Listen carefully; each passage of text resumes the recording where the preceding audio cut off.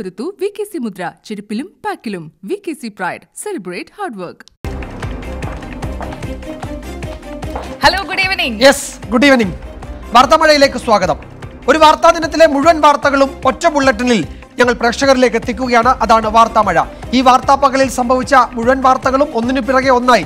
അടുത്ത അടുത്ത ഒന്നര മണിക്കൂറിൽ പ്രേക്ഷകരിലേക്ക് എത്തും. ഞാൻ എസ് വിജയകുമാർ എന്നോടൊപ്പം സുജയ പാർവതി. അപ്പോൾ സുജയ നമ്മൾ ഏത് വാർത്തയിലാണ് തുടങ്ങുന്നത് ഇപ്പോൾ? വിജയകുമാർ ആ കഥ വായിച്ചു തീർത്തോ? കഥ വായിച്ചു തീർന്നില്ല തീർന്നുകൊണ്ട് തീർക്കണം. ഇന്ന് തീർക്കണം. ഞാൻ ആ കഥ വായിച്ചു. ആ കഥ വായിച്ച സ്വപ്ന സുരേഷ് ചിലത് പറയാൻ തുടങ്ങിയതോടെ ആകെ മൊത്തം പുകിലായിരിക്കുകയാണ്. അപ്പോൾ ഈ സ്വപ്ന സുരേഷിന്റെ വെളിപ്പെടുത്തലുകൾ അതെല്ലാം ഈ അക്കമിട്ട് നിരത്തി കൃത്യമായിട്ടൊരു ഓർഡറിലൊക്കെയാണ് വരുന്നത്. അതുകൊണ്ട് തന്നെ അതിനുള്ള കൃത്യമായ ഒരു മറുപടി മുഖ്യമന്ത്രി തിരിച്ചെത്തിക്കഴിഞ്ഞ് പ്രതീക്ഷിക്കുന്നുണ്ടോ നമ്മൾ? മുഖ്യമന്ത്രി തിരിച്ചെത്തുന്നത് എത്തിക്കഴിഞ്ഞ് സംഭവിക്കാനിരിക്കുന്ന കാര്യങ്ങൾ അങ്ങനെ എല്ലാ തരത്തിലും സംഭവബഹുലമായ ഒരു രാഷ്ട്രീയ ദിവസങ്ങളിലൂടെയാണ് നമ്മൾ കടന്നു പോകുന്നത് അല്ലെ? ഇതിൽ പ്രതികരണങ്ങൾ ഉണ്ടായിട്ടുണ്ട്. എന്നാണ് എങ്ങനെയാണോ സ്വർണക്കടത്ത് കേസ് ഒരു സമയത്ത് കേരളത്തിൽ ചർച്ചയായത് ആ ചർച്ചകളുടെ തനിയാവർത്തനം നമ്മൾ കണ്ടുകൊണ്ടിരിക്കുകയാണ്. അതെ ഇവിടെ ഇപ്പോൾ പ്രധാനപ്പെട്ട ഒരു സവിശേഷത നേരത്തെ രാഷ്ട്രീയ കക്ഷികൾ അങ്ങോട്ടും ഇങ്ങോട്ടും ആരോപണം ഉന്നയിക്കുകയായിരുന്നു പ്രതികൾ അകത്തായിരുന്നു. ഇപ്പോൾ പുറത്തുള്ള പ്രതികൾ പരസ്പരം ആരോപണം ഉന്നയിക്കുന്നു പലതരത്തിലുള്ള വിശദീകരണം നൽകുന്നു. അതുകൊണ്ട് തന്നെ ഇക്കാര്യത്തിൽ അന്വേഷണ ഏജൻസികൾക്ക് പുതുതായി എന്തെങ്കിലും വീണ് കിട്ടിയിട്ടുണ്ടോ? അതൊക്കെ അവരത് വളരെ പ്രധാനപ്പെട്ട അതെ അതെ. ഒരു തുറപ്പ് ചീട്ടായി അവർ മാറ്റുമോ അത് തന്നെയാണ് ഇന്നത്തെ വാർത്താ ദിവസത്തെ കൂടുതൽ ചടുലമാക്കി നിർത്തിയത്. അതുകൊണ്ട് തന്നെ നമ്മൾ അതിൽ നിന്ന് തന്നെ തുടങ്ങുന്നു. അപ്പോൾ നമുക്ക് വിശദാംശങ്ങളിലേക്ക് കടക്കാം അല്ലേ? മുഖ്യമന്ത്രിയുടെ മുൻ പ്രിൻസിപ്പൽ സെക്രട്ടറി എം ശിവശങ്കറിന്റെ അനുഭവ കഥയ്ക്ക് ഇന്നും മറുപടിയുമായി സ്വപ്ന സുരേഷ് വന്നു. കോൺസുലേറ്റിലെ അനധികൃത ഇടപാടുകൾ അടക്കം എം ശിവശങ്കറിന് അറിയാമായിരുന്നുവെന്നും സ്പേസ് പാർക്കിൽ തനിക്ക് നിയമനം നൽകുന്നതിൽ എം ശിവശങ്കർ ഇടപെട്ടെന്നും സ്വപ്ന തുറന്നടിച്ചു. ഭർത്താവ് ജയശങ്കറിന് കെ ഫോണിൽ മാനേജറായി ജോലി കൊടുത്തത് ശിവശങ്കർ ആണെന്ന് കൂടി സ്വപ്ന ഇന്ന് പറഞ്ഞു വെച്ചിരിക്കുകയാണ്. സ്വപ്ന പറഞ്ഞതിന്റെ പ്രസക്ത ഭാഗങ്ങൾ നമുക്കൊന്ന് നോക്കാം. ഐ ടോൾഡ് യു ദാറ്റ് കോൺസുലേറ്റിൽ നടക്കുന്ന ഒരുപാട് ഹാങ്കി പാങ്കി കാര്യങ്ങൾ കാരണം എന്നോട് ജോലി വരെ മാറാൻ പറഞ്ഞ ആളാണ്. പുള്ളിക്കാരനാണ് എനിക്ക് സ്പേസ് പാർക്കിൽ ജോലി തന്നത് പോലും. കസ്റ്റംസിൽ നിന്ന് ആ ബാഗ് എങ്ങനെയെങ്കിലും തിരിച്ചയക്കാനുള്ള ഇത് നോക്കുന്നുണ്ടായിരുന്നു. കോൺസുൽ ജനറൽ അപ്പോൾ അത് തുറക്കാതിരിക്കാൻ വേണ്ടിയിട്ട് എന്ത് ചെയ്യാൻ പറ്റുമെന്നുള്ളത് ഡിസ്കസ് ചെയ്തു. അത് കഴിഞ്ഞിട്ട് അത് തുറക്കും എന്ന് പറഞ്ഞപ്പോഴേ first he said that he contact the customs officers somebody and Chinese products പിടിച്ചിട്ടിരിക്കുന്നതുകൊണ്ട് അത് റിലീസായി വരും. ദസ് നത്തിങ് ടു വറി എന്നുള്ളൊരു അഷ്വറൻസ് തന്നു. ജൂലൈ നാലാം തീയതി ഞാൻ അവിടെയാണ് താമസിച്ചത്. ആ ബിൽഡിങ്ങിൽ വേറൊരു ഫ്ലാറ്റിൽ താമസിച്ചു. ബിക്കോസ് എന്റെ വീട്ടിൽ സന്ദീപും സരത്തും സരത്തിന്റെ ലീഗൽ അസിസ് അസിസ്റ്റൻസിന് വേണ്ടിയിട്ടൊരു ലോയറൊക്കെ ഡിസ്കസ് ചെയ്യുന്ന സമയത്ത് എന്റെ മകളൊക്കെ ഉള്ളതുകൊണ്ട് നമ്മളടുത്ത് ശിവശങ്കർ സാർ പറഞ്ഞു അവിടെ ഫ്ലാറ്റ് എടുത്ത് താമസിക്കുന്ന ഒരു രാത്രി just for a change let see what's happening consul general എന്നെ വിളിച്ചിട്ട് പറഞ്ഞു എല്ലാം പൊളിഞ്ഞു പ്രശ്നമാണ്. Swapna what's next ask Shiv Shankar so ഒരു നാല് മണി വരെ ഐ വാസ് ഇൻ ടച്ച് പക്ഷെ അത് കഴിഞ്ഞപ്പോഴത്തേക്കും ശരത്തിന്റെ വീട്ടിൽ ഭയങ്കര പ്രശ്നവും മൂഡ് ഭയങ്കര പ്രോബ്ലംസും അച്ഛന് സുഖമില്ലാത്തതാണ് അമ്മയ്ക്ക് ഭയങ്കര ടെൻഷൻ മോന് പിടിച്ചുകൊണ്ട് പോയി റെയ്ഡ് യുനോ ദറ്റ് അറ്റ്മോസ്ഫിയർ അപ്പം ഞാൻ അത്രയും ക്ലോസ് ആയിരുന്നുകൊണ്ട് ഞാൻ പെട്ടെന്ന് എന്റെ ഫാമിലിയായിട്ട് അങ്ങോട്ട് പോയി. അവിടെ ചെന്നപ്പോൾ I received a call from Sarith same കസ്റ്റംസിലോട്ട് വരുമെന്ന്. That's the last time I spoke from my phone to Sivasankar sir അപ്പോൾ സാർ എന്റെ അടുത്ത് പറഞ്ഞു being a lady the investigating agency has to send you a return summons ഇങ്ങനെ ഹാജരാവാൻ. അതില്ലാത്തടത്തോളം കാലം പോകേണ്ട കാര്യമില്ല. But right now go go in for an anticipatory bail ആ ബുക്കിൽ സത്യസന്ധതയോടെ എല്ലാം എ ടു സി വരെ എഴുതിയിട്ടുണ്ടായിരുന്നെങ്കിൽ ഞാൻ പറഞ്ഞല്ലോ ഞാൻ ഇതിനു മുമ്പ് എല്ലാവരോടും പറഞ്ഞു I would have uploaded him that he is a man I reacted to the media about Sivasankar എന്ന ഇൻഡിവിജ്വൽ എന്റെ വീട്ടിലും എന്റെ ജീവിതത്തിന്റെ ഭാഗമായിരുന്ന എന്റെ കുടുംബത്തിന്റെയും ഭാഗമായത് ശിവശങ്കർ എന്ന വ്യക്തിയെക്കുറിച്ചാണ് ഞാൻ പറയാറ് ശിവശങ്കർ സാറ് കോൺസൽ ജനറലിനെ അസിസ്റ്റ് ചെയ്തതും ഹെൽപ്പ് ചെയ്തതിന്റെ പേരിൽ. Token of appreciation or token of gratitude എന്നുള്ള രീതിയിൽ ഡിസംബർ ഒന്നാം തീയതി കിട്ടിയ ഐഫോൺസിൽ ഒരു ഐഫോൺ റിമൂവ് ചെയ്തിട്ട് പുള്ളിക്കാരൻ എന്റെ കയ്യിൽ തന്നിട്ട് പറഞ്ഞു ശിവശങ്കറിന് കൊടുത്തേക്കാൻ. അത് ആ നിമിഷം തന്നെ ഹാൻഡ് ഓവർ ചെയ്യാനായിട്ട് പറഞ്ഞപ്പോൾ എന്റെ അടുത്ത് പറഞ്ഞു എനിക്ക് ആവശ്യമുള്ളപ്പോൾ ഞാൻ വന്ന് വാങ്ങിച്ചോളാം. നിന്റെ വീട്ടിൽ സുരക്ഷിതമായിരുന്നോട്ടെ ഞാൻ കോൺസുലേറ്റിൽ നിന്നും റിസൈൻ ചെയ്ത് when I was waiting at home N- work ഹോളിക്കാണ് എനിക്ക് സാലറി ഇല്ലാതെ ആയി വന്നപ്പോഴത്തേക്കും I told my approach my I need a job badly അപ്പോൾ പുള്ളിക്കാരൻ എനിക്ക് ജോലി വാഗ്ദാനം ചെയ്തു. ജോലി സ്പേസ് പാർക്കിനെ കുറിച്ചുള്ള പ്രോജക്റ്റ് ഡിസ്ക്രൈബ് ചെയ്തു തന്നു. എന്റെ മിഡിൽ ഈസ്റ്റ് കണക്ഷൻസ് വെച്ച് എനിക്ക് എങ്ങനെ ഈ പ്രോഡക്റ്റ് എന്ന അല്ലെങ്കിൽ ഈ പ്രോജക്റ്റിനെ കേരളത്തിൽ ഡെവലപ്പ് ചെയ്യാൻ പറ്റും? മിഡിൽ ഈസ്റ്റ് സ്പേസ് ഏജൻസീസിനെ അട്രാക്ട് ചെയ്ത് നമുക്ക് ഇവിടെ ഒരു ഓഫീസ് എടുപ്പിക്കാൻ പറ്റും? എന്നുള്ള കോൺട്രിബ്യൂഷൻ ക്ലിയർ ആയിട്ട് ഐഡന്റിഫൈ ചെയ്തതിന് ശേഷം സാർ എന്റെ അടുത്ത് പറഞ്ഞു Swapna go and meet Jayashankar and Santhosh Kurup special officer and K S I T I L M D and talk to them so we had a coffee discussion he will help us to clear the consignment because it is 17 tons.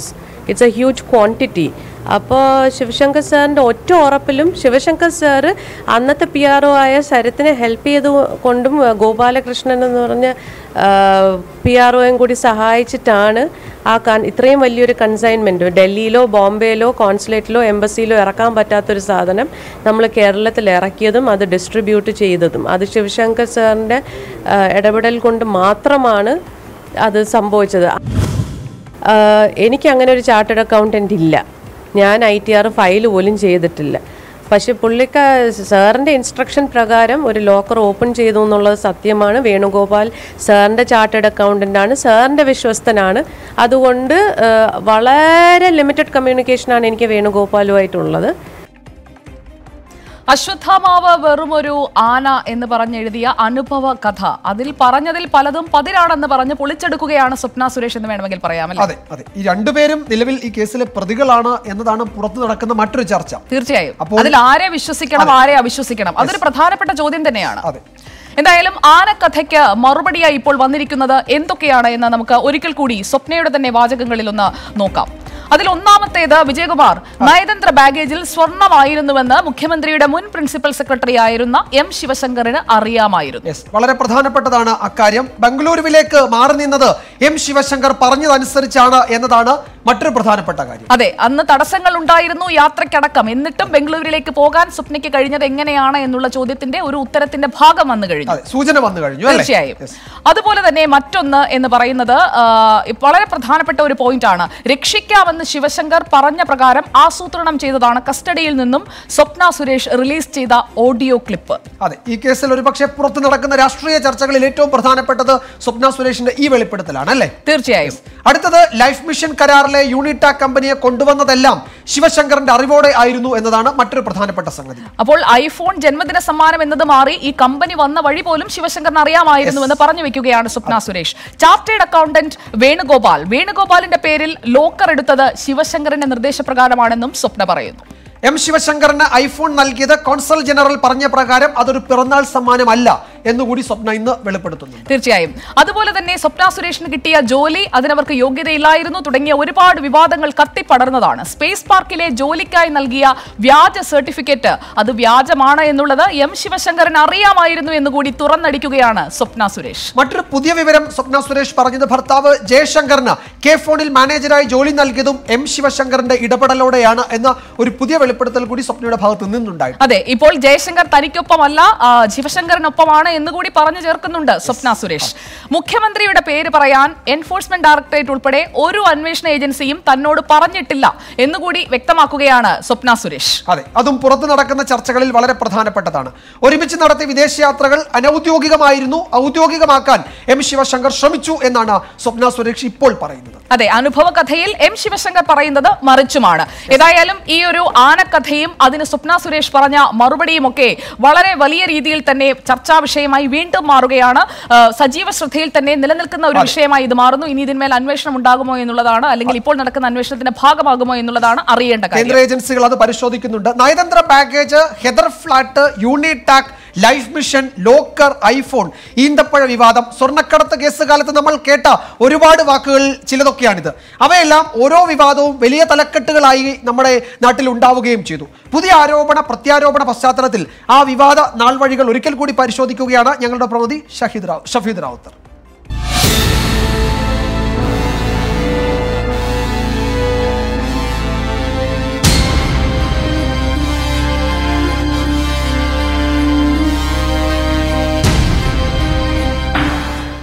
അശ്വത്ഥാമാവ് വെറും ഒരാന.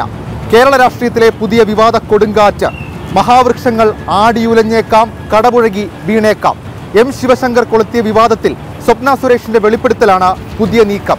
വ്യക്തിപരമെന്ന് സ്വപ്ന സുരേഷ് ആവർത്തിക്കുമ്പോഴും ചില കേന്ദ്രങ്ങളെ അത് അസ്വസ്ഥരാക്കുന്നു.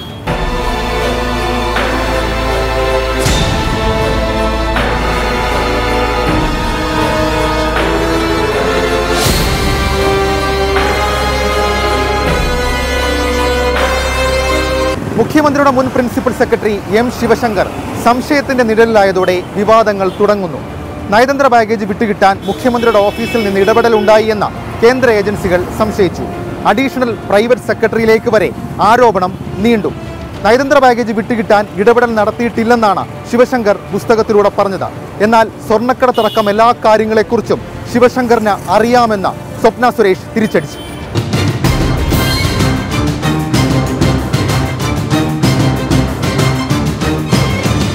അടുത്തത് സ്വപ്ന സുരേഷിന്റെ space പാർക്കിലെ നിയമനമാണ്. വഴിവിട്ട സഹായം M Sivasankar സ്വപ്നയ്ക്ക് ചെയ്തു നൽകിയെന്ന ആരോപണം വ്യാജ സർട്ടിഫിക്കറ്റിന് സ്വപ്നയ്ക്കെതിരെ പോലീസ് കേസെടുത്തു. കൺസൾട്ടൻസി ഏജൻസിയുടെ ഉത്തരവാദിത്തമെന്ന് എം ശിവശങ്കർ പുസ്തകത്തിൽ പറഞ്ഞൊഴിഞ്ഞു. എന്നാൽ സ്വപ്നയാകട്ടെ നിയമനം ശിവശങ്കറുടെ നിർദ്ദേശമാണെന്ന് ഇന്ന് വെളിപ്പെടുത്തി. മാത്രമല്ല വ്യാജ സർട്ടിഫിക്കറ്റുകളെ കുറിച്ചുപോലും ശിവശങ്കറിന് അറിയാമായിരുന്നുവെന്നും സ്വപ്ന ഇന്ന് വ്യക്തമാക്കി.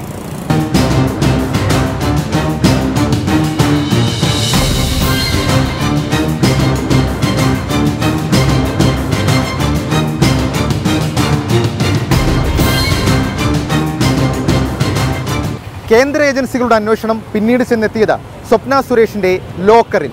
സ്വർണക്കടത്തിടപാടുകളുടെ പണമാണ് ലോക്കറിലെന്ന് എൻ ഐ എ സംശയിക്കുന്നു.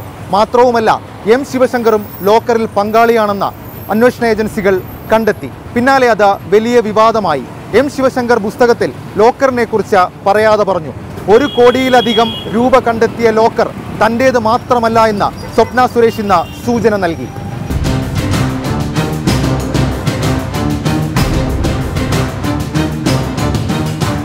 ലൈഫ് മിഷനിൽ വിജിലൻസ് കേസെടുത്തതായിരുന്നു അടുത്ത വിവാദം. ശിവശങ്കരെ രക്ഷിക്കാനുള്ള നീക്കമെന്ന് പ്രതിപക്ഷ പാർട്ടികൾ വിമർശിച്ചു. അങ്ങനെ സംസ്ഥാന സർക്കാരിന്റെ അഭിമാന പദ്ധതിയായ ലൈഫും വിവാദ ചുഴിയിൽ വീണു. ആ വിവാദം ചെന്നെത്തി നിന്നത് സ്വപ്ന സുരേഷ ശിവശങ്കറിന് നൽകിയ ഐഫോണിൽ. പിറന്നാൾ സമ്മാനമെന്നാണ് ശിവശങ്കർ പുസ്തകത്തിൽ ഇതിനെക്കുറിച്ച് വാദിച്ചത്. എന്നാൽ പിറന്നാൾ സമ്മാനമല്ലെന്നും കോൺസുലേറ്റ് ജനറലുടെ സമ്മാനമാണെന്നും ഇന്ന് സ്വപ്ന സുരേഷ് തിരുത്തി.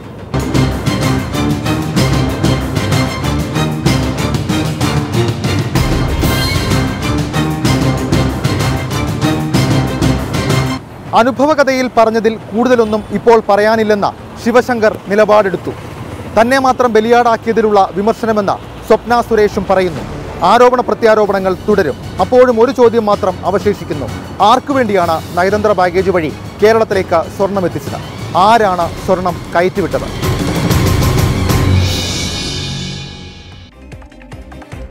സ്വപ്ന സുരേഷിന്റെ അഭിമുഖം പുറത്തു വന്ന സാഹചര്യത്തിൽ അതിൽ പറഞ്ഞിട്ടുള്ള കാര്യങ്ങൾ അന്വേഷണ ഏജൻസികൾ പ്രത്യേകിച്ചും കേന്ദ്ര ഏജൻസികൾ പരിശോധിക്കുന്നു എന്നുള്ളതാണ് ഇപ്പോൾ വരുന്ന ഏറ്റവും പ്രധാനപ്പെട്ട വാർത്ത.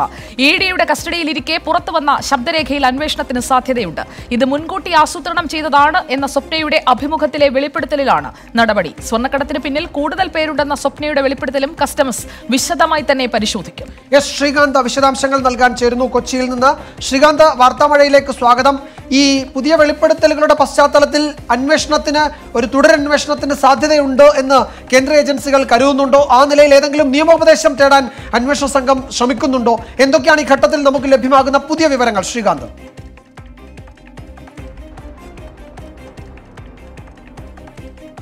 വിജയകുമാർ ഈ സ്വപ്നയുടെ വെളിപ്പെടുത്തലിൽ പറഞ്ഞിരുന്ന ഈ ഇ ഡിയുമായി ബന്ധപ്പെട്ട ഒരു ശബ്ദരേഖയുടെ കാര്യം അവർ പറഞ്ഞിരുന്നു. ആ വിഷയത്തിലാണ് ഇ ഡിക്ക് താല്പര്യം അതായത് ഈ വരുന്ന തിങ്കളാഴ്ച ഹൈക്കോടതിയിൽ ഒരു കേസ് വരുന്നുണ്ട്. അതായത് ഈ കേന്ദ്ര ഏജൻസികൾക്കെതിരെ സംസ്ഥാന സർക്കാർ നൽകിയ ഈ സംസ്ഥാന സർക്കാർ ഒരു അപ്പീൽ നൽകിയിട്ടുണ്ട്. ഒരു ജുഡീഷ്യൽ കമ്മീഷനെ നിയോഗിച്ചത് സിംഗിൾ ബെഞ്ച് സ്റ്റേ ചെയ്യുകയും അതിനെതിരെ സംസ്ഥാന സർക്കാർ ഒരു അപ്പീലും നൽകിയിട്ടുണ്ട്. ആ കേസിൽ ഈ സ്വപ്നയുടെ വെളിപ്പെടുത്തൽ നിർണായകമാകും എന്നുള്ളതാണ് നിലവിൽ ഇപ്പോൾ കേന്ദ്ര ഏജൻസികൾ പറയുന്നത്. ഇ ഡി കസ്റ്റഡിയിലിരിക്കെ പുറത്തു വന്ന ശബ്ദരേഖയിൽ അന്വേഷണത്തിനുള്ള സാധ്യതയാണ് തെളിയുന്നത്. നേരത്തെ ഈ ഇ ഡി മുഖ്യമന്ത്രിയുടെ പേര് പറയാൻ നിർബന്ധിച്ചു എന്ന സ്വപ്നയുടെ വെളിപ്പെടുത്തലിന്റെ അടിസ്ഥാനത്തിലാണ് ആദ്യം ഒരു അന്വേഷണ കമ്മീഷനൊക്കെ വരികയും പിന്നീട് അത് ജുഡീഷ്യൽ അന്വേഷണ കമ്മീഷനായി മാറുകയും ഒക്കെ ചെയ്തത്. അതാണ് ഹൈക്കോടതി മുമ്പാകെ എത്തി നിൽക്കുന്നതും. അതിനാൽ തന്നെ ഈ പുതിയ വെളിപ്പെടുത്തൽ വന്നതോടുകൂടി നിലവിൽ ഒരു അന്വേഷണത്തിനുള്ള സാധ്യതയുണ്ട് എന്നുള്ള തരത്തിലാണ് ഇ ഡി വൃത്തങ്ങൾ ഇക്കാര്യം പറയുന്നത്.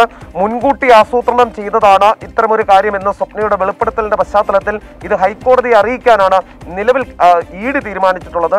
അതേസമയം സ്വർണക്കടത്തിൽ കൂടുതൽ ആളുകളുണ്ട് എന്നുള്ള അവരുടെ വെളിപ്പെടുത്തൽ കണക്കിലെടുത്ത് കസ്റ്റംസും ഒരു അന്വേഷണത്തിനുള്ള സാധ്യത ആരായുന്നുണ്ട്? നിയമോപദേശം തേടുന്നതടക്കം തിങ്കളാഴ്ച ഉണ്ടാകും എന്നുള്ളതാണ് മനസ്സിലാക്കാൻ സാധിക്കുന്നത്. ശരി എസ് ശ്രീകാന്താണ് കൊച്ചിയിൽ നിന്ന് വിവരങ്ങൾ നൽകിയത്. വിജയകുമാർ അതായത് അന്വേഷണത്തിലേക്ക് കാര്യങ്ങൾ എത്തുന്നു. അതെ അവ അന്വേഷണ സംഘം ആ വഴിക്ക് നീങ്ങുമ്പോൾ വീണ്ടും രാഷ്ട്രീയ കേരളത്തിൽ അതുണ്ടാക്കുന്ന വിവാദങ്ങൾ ചലനങ്ങൾ ചർച്ചകൾ അതിന്റെ വിശദാംശങ്ങളിലേക്കാണ് നമ്മൾ അടുത്തതായി കടക്കുന്നത്. വീണ്ടും കേരള രാഷ്ട്രീയത്തിൽ സ്വർണക്കടത്ത് ചർച്ചയ്ക്ക് വഴി തുറക്കുക കൂടിയാണ് ഈ പുതിയ വിവാദങ്ങൾ. എങ്ങനെയായിരുന്നു കേരള രാഷ്ട്രീയം സ്വർണക്കടത്ത് വിവാദത്തിൽ ആടിയൊളിഞ്ഞത് എന്നും ഇനി വരാൻ പോകുന്നത് എന്തൊക്കെയായിരിക്കുമെന്നും ഞങ്ങളുടെ പ്രവൃത്തി തനേഷ് തമ്പി പരിശോധിക്കുന്നു.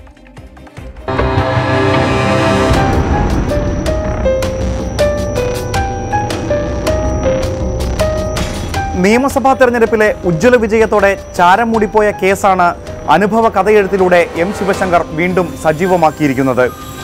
മുഖ്യമന്ത്രിയെ പോലും സംശയത്തിന്റെ നിഴൽ നിർത്തിയായിരുന്നു ആദ്യഘട്ടത്തിൽ പ്രതിപക്ഷത്തിന്റെ ആക്രമണം.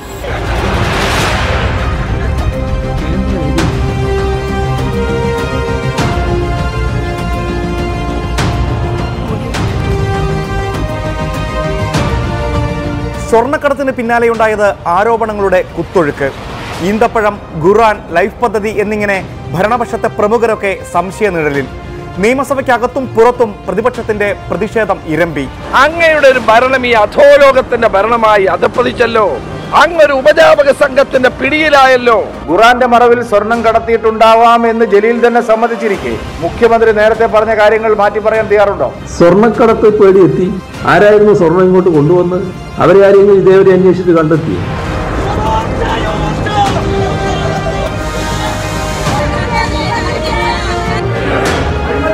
അന്വേഷണ ഏജൻസികൾ പുറത്തുവിട്ടിരുന്ന മൊഴിപ്പകർപ്പുകൾ സർക്കാരിനെ പിടിച്ചുലച്ചു. എന്നാൽ തദ്ദേശ തെരഞ്ഞെടുപ്പിലെ വിജയം എൽ ഡി എഫിന്റെ ആത്മവിശ്വാസം കൂട്ടി. തൊട്ടുപിന്നാലെ നടന്ന നിയമസഭാ തെരഞ്ഞെടുപ്പിൽ ആരോപണങ്ങൾ മുഖവിലക്കെടുക്കാതെ ജനം പിണറായി വിജയനെ വീണ്ടും മുഖ്യമന്ത്രിയാക്കി.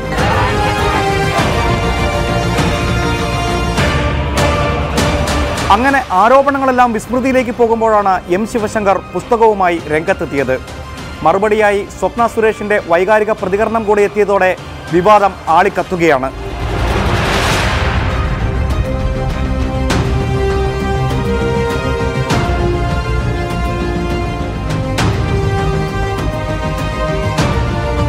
സ്വപ്നയുടെ വെളിപ്പെടുത്തലിൽ കെ ടി ജലീലുമായോ മുഖ്യമന്ത്രിയുടെ ഓഫീസുമായോ സി എം രവീന്ദ്രനുമായോ ഔദ്യോഗികതയ്ക്കപ്പുറത്തുള്ള ബന്ധമില്ലെന്ന പരാമർശം സർക്കാരിന് ആശ്വാസകരമാണ്. എന്നാൽ പി ശ്രീരാമകൃഷ്ണനുമായുള്ള വ്യക്തിബന്ധം സി പി ഐ എമ്മിന് വിശദീകരിക്കേണ്ടി വരും.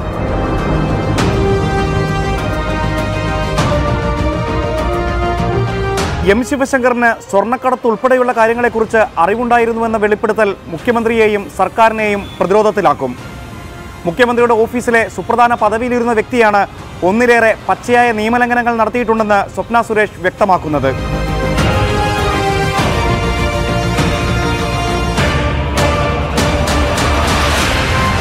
തൽക്കാലം പരസ്യ പ്രതികരണങ്ങളിലേക്ക് പോകേണ്ടതില്ലെന്നാണ് സി തീരുമാനം. മുഖ്യമന്ത്രി വിദേശയാത്ര കഴിഞ്ഞ് മടങ്ങിയെത്തിയ ശേഷമായിരിക്കും പ്രതിരോധത്തിന്റെ രീതി തീരുമാനിക്കുക.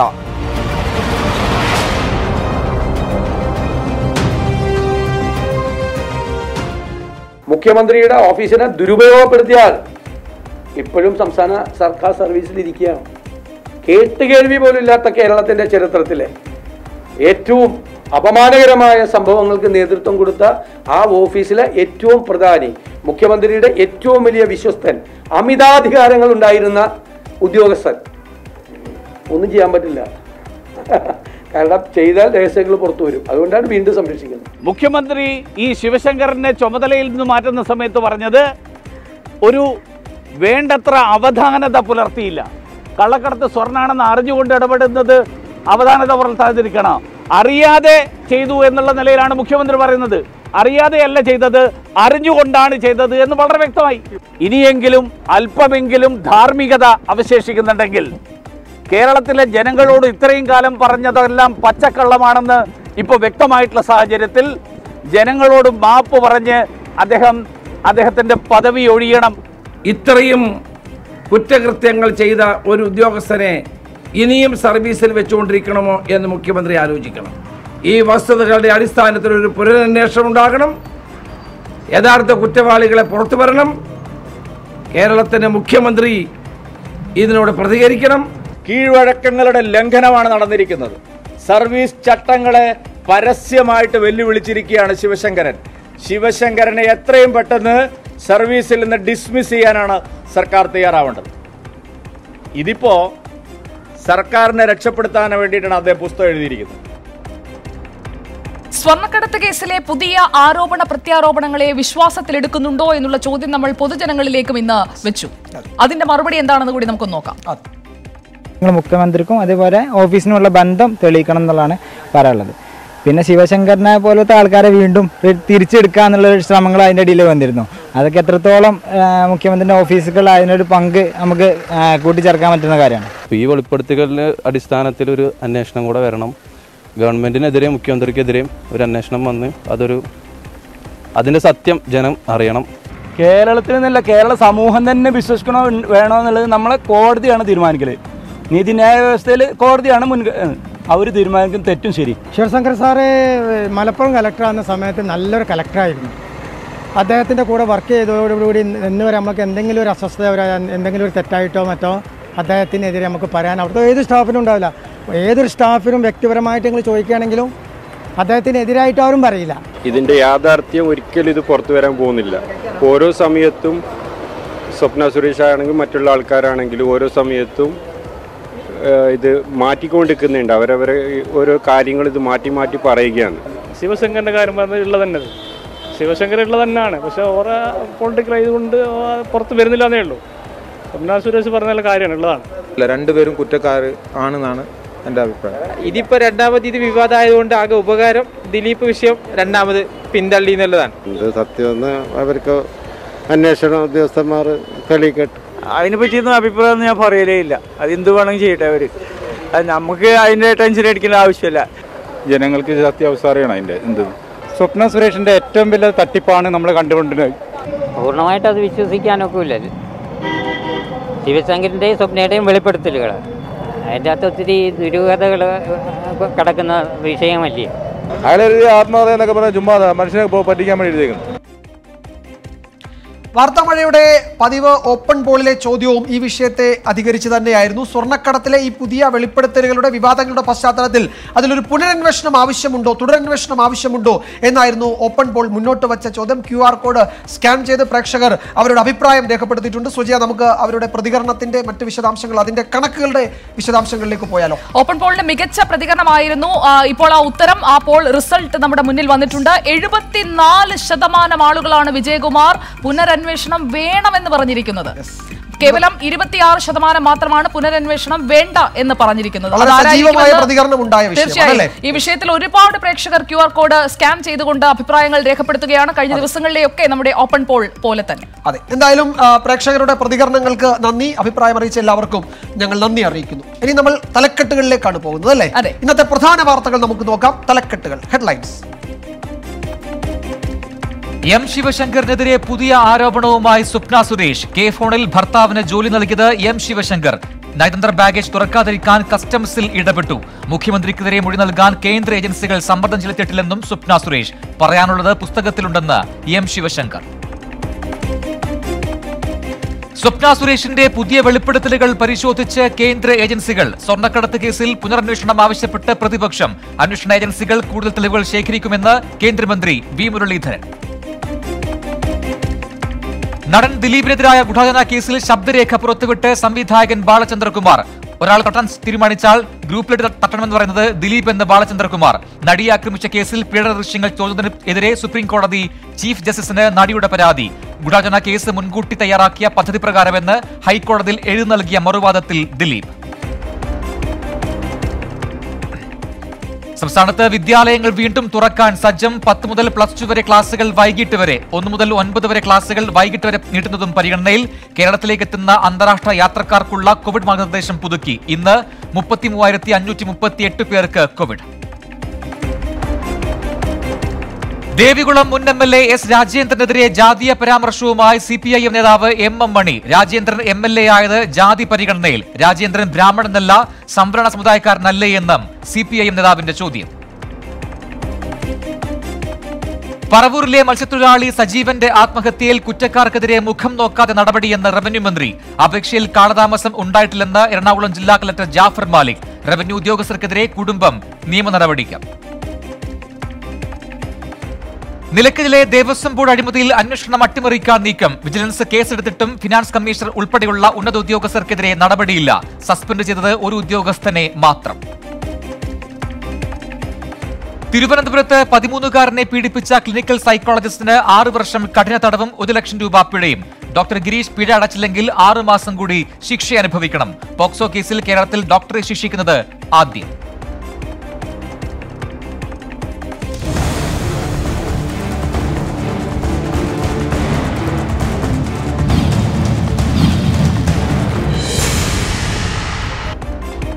ഇന്നത്തെ ഏറ്റവും പ്രധാനപ്പെട്ട വാർത്തകൾ ഏതൊക്കെയാണെന്നാണ് നമ്മൾ തലക്കെട്ടിന്റെ രൂപത്തിൽ വാർത്താമഴയിൽ ഇപ്പോൾ കണ്ടത്. ഇന്നത്തെ കഴിഞ്ഞ കുറേ ദിവസങ്ങളായി വളരെ സജീവമായ വളരെ പ്രധാനപ്പെട്ട ഒരു വാർത്തയിലേക്കാണ് വാർത്താമഴ അടുത്തതായി കടക്കുന്നത്. നടിയെ ആക്രമിച്ച കേസിലെ അന്വേഷണ ഉദ്യോഗസ്ഥർക്കെതിരായ വധഗൂഢാലോചനയിൽ പുതിയ വെളിപ്പെടുത്തലുമായി ഇപ്പോൾ രംഗത്ത് വന്നിരിക്കുകയാണ് സംവിധായകൻ ബാലചന്ദ്രകുമാർ. കഴിഞ്ഞ ദിവസം തന്നെ പറഞ്ഞിരുന്നു ഈ ശബ്ദരേഖ ഞാൻ ഇപ്പോൾ പൊട്ടിക്കുമെന്ന്. അതിന്റെ വിശദാംശങ്ങൾ നമ്മൾ നോക്കുമ്പോൾ ഒരാളെ തട്ടുമ്പോൾ ഗ്രൂപ്പിലിട്ട് തട്ടണമെന്ന് ദിലീപും അനൂപും നിർദ്ദേശിക്കുന്ന സംഭാഷണ ശബ്ദരേഖയാണ് ബാലചന്ദ്രകുമാർ ഇന്ന് പുറത്തുവിട്ടത്.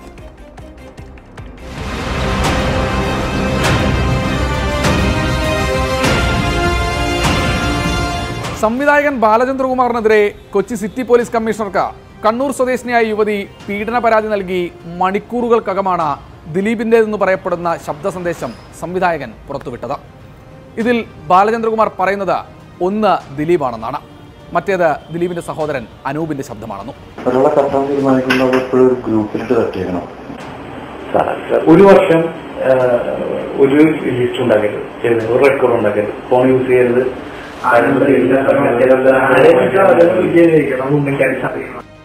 ഇതിൽ ദിലീപിന്റെതെന്ന് പറഞ്ഞ സംവിധായകൻ ബാലേന്ദ്രകുമാർ പുറത്തുവിട്ട ശബ്ദരേഖയിൽ ഒരാളെ തട്ടണമെങ്കിൽ അത് ഗ്രൂപ്പിലിട്ട് തട്ടണമെന്ന് ദിലീപ് പറയുന്നുണ്ടെന്നാണ് സംവിധായകന്റെ വാദം. പ്രധാനമായും ഉദ്ദേശിക്കുന്നത് ഒരാളെ കൊല്ലണമെങ്കിൽ അത് ആൾക്കൂട്ടത്തിന് നടുവിലിട്ട് കൊല്ലണമെന്നാണ്. ആദ്യം സംസാരിക്കുന്നത് ദിലീപാണ്. ദിലീപ് അനുജനോട് പറയുന്ന നിർദ്ദേശമാണ്. ഒരാളെ തട്ടുമ്പോൾ അങ്ങനെയാണ് വ്യക്തമായിട്ട് അതിൽ പറയുന്നുണ്ട്. ഒരാളെ തട്ടുമ്പോൾ ഗ്രൂപ്പിലിട്ട് തട്ടണം എന്ന് പറഞ്ഞാൽ ഇപ്പോൾ ഉദ്ദേശ ഒരാളിനെ തട്ടണമെന്ന് ഉദ്ദേശിക്കുകയാണെങ്കിൽ കൂടെ പോകുന്ന ഏതെങ്കിലും ഒരു മാർക്കറ്റിലോ ഏതെങ്കിലും ഒരു ചർച്ചിന്റെ ഫ്രണ്ടിലോ അല്ലെങ്കിൽ എവിടെയെങ്കിലും വെച്ചിട്ട് കൂട്ടത്തോടെ അതായത് കൂടെയുള്ള രണ്ടുപേരെ കൂടെ അങ്ങ് തട്ടിയേക്കണം. എന്ന് പറയുമ്പോൾ അതിന്റെ അർത്ഥം കൂട്ടത്തോടെ തട്ടുമ്പോൾ സംശയിക്കില്ല. ഇതിൽ ഒരാൾ ആരെയാണ് ഉദ്ദേശിച്ചതെന്ന് സംശയിക്കില്ല. അങ്ങനെയാണ്. ഫോൺ ഉപയോഗിക്കരുതെന്ന് പറയുന്നത് ആരാണ്? അതെന്താണ് സംഭവം? അത് ദിലീപിന്റെ അനുജന്റെ ശബ്ദമാണ്. അത് ദിലീപിന് അദ്ദേഹം കൊടുക്കുന്ന നിർദ്ദേശമാണ്. അതായത് അടുത്ത വരാൻ പോകുന്ന ഒരു വർഷത്തേക്ക് അവർ പല പദ്ധതികൾ ഇട്ടിട്ടുണ്ട്. ചേട്ടൻ ഫോൺ ഉപയോഗിക്കരുത് ഒരു കോൾ ലിസ്റ്റ് ഉണ്ടാക്കരുത് എന്നൊക്കെ പറഞ്ഞ് പുള്ളി അഡ്വൈസ് കൊടുക്കുകയാണ് ചേട്ടന്. അതായത് അതായത് യഥാർത്ഥ ഗൂഢാലോചന എന്നൊക്കെ പറയുന്ന ഇതാണ്. അതായത് ഫോൺ ഉപയോഗിക്കരുത് ഒരു ലിസ്റ്റ് ഉണ്ടാക്കരുത്. ആ ലിസ്റ്റ് വെച്ചിട്ടാണല്ലോ പോലീസ് പലപ്പോഴും ഫൈൻഡ് ചെയ്യുന്നതും അവർ ട്രേസ് ഔട്ട് ചെയ്യുന്നതും. ദിലീപിന്റെ സഹോദരൻ അനൂപിന്റെതെന്ന് പറഞ്ഞ ബാലേന്ദ്രകുമാർ പുറത്തുവിട്ട ശബ്ദ സന്ദേശത്തിൽ ഒരാളെ കൊല്ലാൻ തീരുമാനിച്ചാൽ ഒരു വർഷത്തേക്ക് ഫോണുകൾ ഉപയോഗിക്കരുതെന്ന് പറയുന്നുണ്ട്. ഇതെല്ലാം ശക്തമായ തെളിവാണെന്നാണ് ബാലേന്ദ്രകുമാറിന്റെ വാദം.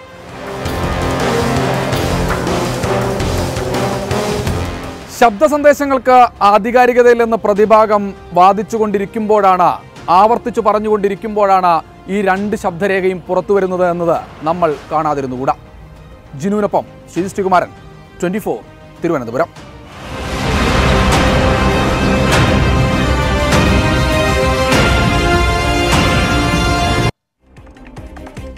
ഗൂഢാലോചന കേസിലെ മുൻകൂർ ജാമ്യാപേക്ഷയിൽ അധിക വാദമുഖങ്ങൾ രേഖാമൂലം കോടതിയിൽ സമർപ്പിച്ചിട്ടുണ്ട് പ്രതിഭാഗം. വാദങ്ങൾ രേഖാമൂലം നൽകാൻ പ്രതിഭാഗത്തിന് ഹൈക്കോടതി അനുമതി നൽകിയിരുന്നു. തിങ്കളാഴ്ചയാണ് മുൻകൂർ ജാമ്യാപേക്ഷയിൽ ഹൈക്കോടതി വിധി പറയുക.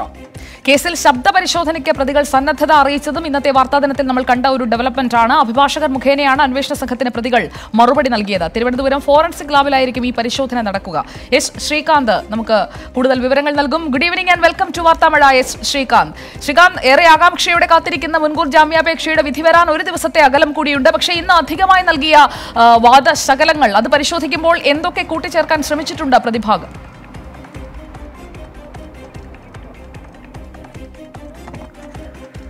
ഇന്ന് പ്രധാനമായും തനിക്കെതിരായ ആരോപണങ്ങൾ അവാസ്തവമാണ് വാസ്തവരഹിതമാണ് എന്നുള്ളത് പറയാനാണ് ദിലീപ് കൂടുതലും ശ്രമിച്ചത്. ബാലചന്ദ്രകുമാറിന്റെ വെളിപ്പെടുത്തൽ അത് വിശ്വസനീയമല്ല. അയാൾ കൊണ്ടുവന്നിരിക്കുന്ന ഓഡിയോ ക്ലിപ്പ് അത് തെളിവായി സ്വീകരിക്കരുത് എന്നുള്ളതാണ് ഇന്ന് കോടതി മുമ്പാകെ ദിലീപ് പറഞ്ഞത്. ഇന്നലെ പറഞ്ഞ അതേ കാര്യങ്ങളൊക്കെ തന്നെയാണ്. ഈ കോടതിയിൽ വെച്ച് ഉദ്യോഗസ്ഥനെ കൊല്ലുമെന്ന് ഭീഷണിപ്പെടുത്തിയിട്ടില്ല. കാരണം അന്ന് ഈ വിചാരണ കോടതിയിൽ കേസേ ഉണ്ടായിരുന്നില്ല എന്നുള്ള കാര്യവും ദിലീപ് ചൂണ്ടിക്കാണിക്കുന്നുണ്ട്. ഒപ്പം തന്നെ ഇതുമായി ബന്ധപ്പെട്ട് ആവശ്യപ്പെട്ട ഫോണുകളെല്ലാം നൽകി പത്ത് മുപ്പത്തിമൂന്ന് മണിക്കൂർ താൻ ചോദ്യം ചെയ്യലിന് വിധേയമായി എന്നുള്ള കാര്യവും ദിലീപ് കോടതി മുമ്പാകെ എഴുതി നൽകി അധികവാദത്തിൽ ചൂണ്ടിക്കാണിക്കുന്നുണ്ട്. ഈ ഡിവൈഎസ്പി ബൈജു പൗലോസിന് തന്നോടുണ്ടായിരുന്ന വ്യക്തിവൈരാഗ്യമാണ് ബാലചന്ദ്രകുമാറിന്റെ വെളിപ്പെടുത്തലിനും ഇപ്പോഴത്തെ കേസിനും പിന്നിൽ എന്നുള്ളതാണ് ദിലീപ പറഞ്ഞു വെക്കുന്നത്. ഡി ജി പി ബി സന്ധ്യയും ഒപ്പം ബൈജു പൗലോസും തന്റെ തങ്ങളുടെ ഔദ്യോഗിക പദവികൾ ദുരുപയോഗം ചെയ്തു ഇതിനായി എന്നുള്ള കാര്യവും ഈ അധികവാദത്തിൽ കൃത്യമായി തന്നെ ദിലീപ് ചൂണ്ടിക്കാണിക്കുന്നുണ്ട്.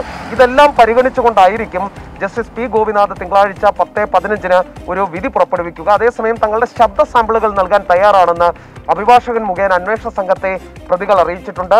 തിരുവനന്തപുരത്തെ ഫോറൻസിക് ലാബിലെത്തിയായിരിക്കും ഈ ശബ്ദ സാമ്പിളുകൾ നൽകാൻ പോകുന്നത് എന്നാണ് ഏറ്റവും ഒടുവിലായി. ലഭ്യമാകുന്ന വിവരം. സുജയ. ശരി എസ് ശ്രീകാന്ത് ആണ് വിവരങ്ങൾ നൽകിയത്. Thank you and good night ഇതിൽ വളരെ പ്രധാനപ്പെട്ട ഒരു നീക്കം നടിയുടെ ഭാഗത്തു നിന്നുണ്ടായിട്ടുണ്ട് അല്ലേ? പ്രത്യേകിച്ചും കഴിഞ്ഞ ദിവസം തന്നെ ട്വന്റി ഫോർ ഇതേ സംബന്ധിച്ചുള്ള വാർത്ത പുറത്തുവിട്ടിരുന്നു. ഇതേക്കുറിച്ചുള്ള സൂചനകൾ പ്രേക്ഷകർക്ക് നൽകിയിരുന്നു. ഇന്നിപ്പോൾ അതിന്റെ സംഭവ വികാസങ്ങൾ എങ്ങനെയാണ് മുന്നോട്ട് പോകുന്നതെന്ന് നമുക്ക് നോക്കാം. ആക്രമണത്തിനിരയായ നടി തന്നെ ആക്രമിച്ച ദൃശ്യങ്ങൾ കോടതിയിൽ നിന്ന് ചോർന്നുവെന്ന വാർത്തയിൽ അന്വേഷണം ആവശ്യപ്പെട്ടുകൊണ്ട് രാഷ്ട്രപതിക്കും പ്രധാനമന്ത്രിക്കും സുപ്രീം കോടതി ചീഫ് ജസ്റ്റിസിനും മുഖ്യമന്ത്രിക്കും കത്തയച്ചിരിക്കുകയാണ്. അടിയന്തര നടപടി വേണമെന്നാണ് കത്തിലെ ആവശ്യം. കത്തിന്റെ പകർപ്പ് മനുഷ്യാവകാശ കമ്മീഷനും നൽകിയിട്ടുണ്ട്. ആർ അരുൺരാജ് നൽകും കൂടുതൽ വിവരങ്ങൾ.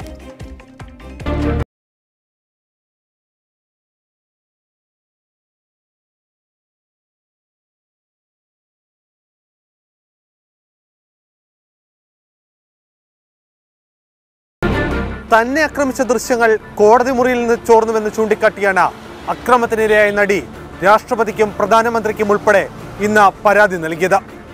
ദൃശ്യങ്ങൾ ചോർന്നതിലൂടെ തന്റെ സ്വകാര്യത പോലും ഹനിക്കപ്പെട്ടുവെന്നാണ് നടി പരാതിയിൽ ചൂണ്ടിക്കാട്ടുന്നത്.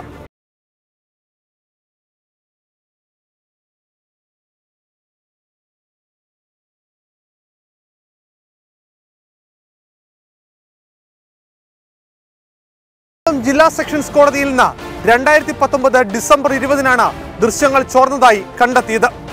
തിരുവനന്തപുരം എഫ് എസ് എൽ ലാബാണ് ദൃശ്യങ്ങളുടെ ഹാഷ് വാല്യൂ പരിശോധന നടത്തിയപ്പോൾ ദൃശ്യങ്ങൾ ചോർന്നതായി കണ്ടെത്തുകയും ചെയ്തത്. പിന്നീട് വിചാരണ കോടതിയെ ഇവർ അറിയിക്കുകയും ചെയ്തു.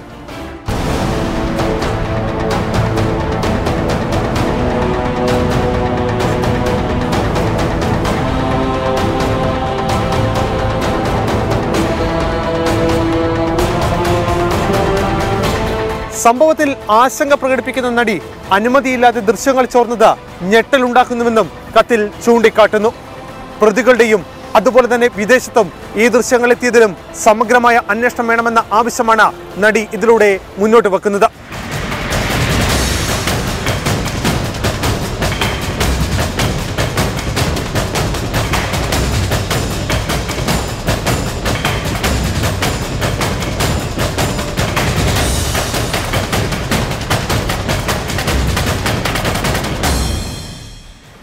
ചെയ്ത കവറിൽ കോടതിക്ക് കൈമാറിയ ദൃശ്യങ്ങൾ ആരാണ് ചോർത്തിയത്?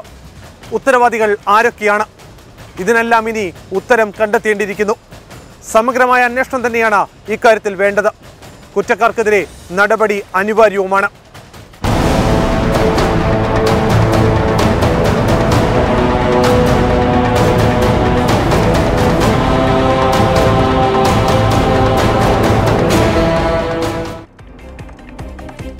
ഇതിനൊക്കെ ഇടയിൽ മറ്റൊരു പരാതി കൂടി ഇന്നുണ്ടായി. സംവിധായകൻ ബാലചന്ദ്രകുമാറിനെതിരെ ഒരു പീഡന പരാതി ഉണ്ടായി.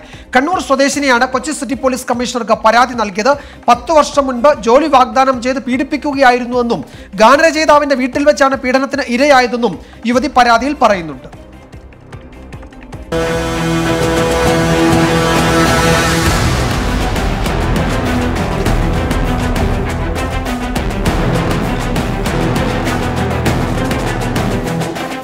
നടിയെ ആക്രമിച്ച കേസിൽ പുതിയ വെളിപ്പെടുത്തൽ നടത്തിയ സംവിധായകൻ ബാലേന്ദ്രകുമാറിനെതിരെയാണ് കണ്ണൂർ സ്വദേശിയായ യുവതി പീഡന പരാതി നൽകിയിരിക്കുന്നത്.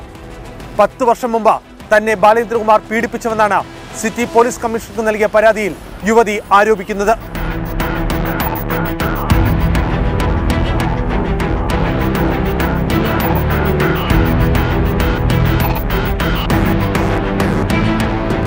പരാതി ഇങ്ങനെ പോകുന്നു. പത്തു വർഷം മുമ്പ് തൊഴിലന്വേഷിച്ച് തൃശ്ശൂരെത്തിയ തന്നെ ഒരു യുവാവ് പരിചയപ്പെടുന്നു. തുടർന്ന് ബാലു എന്ന് പറയുന്ന വ്യക്തിയുടെ ഫോൺ നമ്പർ തരികയും അയാളുമായി ബന്ധപ്പെടാൻ പറയുകയും ചെയ്തു. ഇതിന്റെ അടിസ്ഥാനത്തിൽ ബാലുവിനെ ഫോണിൽ വിളിച്ചു.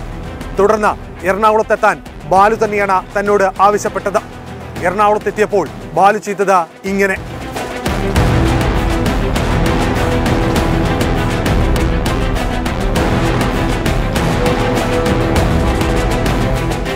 എറണാകുളത്ത് വീട്ടിലെത്തിയ തന്നെ ബാലു എന്ന വ്യക്തി ബലമായി ഉപദ്രവിച്ചു.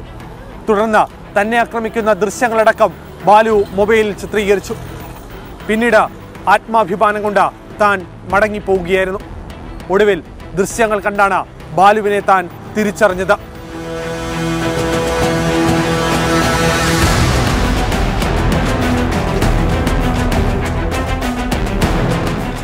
യുവതി ആദ്യം പോസ്റ്റൽ മുഖാന്തരം അയച്ച പരാതി പോലീസ് മുഖവിലക്കെടുത്തിരുന്നില്ല ഇതിനുശേഷമാണ് പോലീസിൽ നേരിട്ടെത്തി യുവതി പരാതി നൽകിയത്. എന്തായാലും പരാതിയിൽ വിശദമായി തന്നെ അന്വേഷണം നടത്താനാണ് പോലീസിന്റെ തീരുമാനം. പത്ത് വർഷത്തിനിപ്പുറമുള്ള പരാതിയിൽ നിരവധിയായ ചോദ്യങ്ങൾ ബാക്കി നിൽക്കുന്നുവെന്നാണ് പോലീസ് അഭിപ്രായപ്പെടുന്നത്.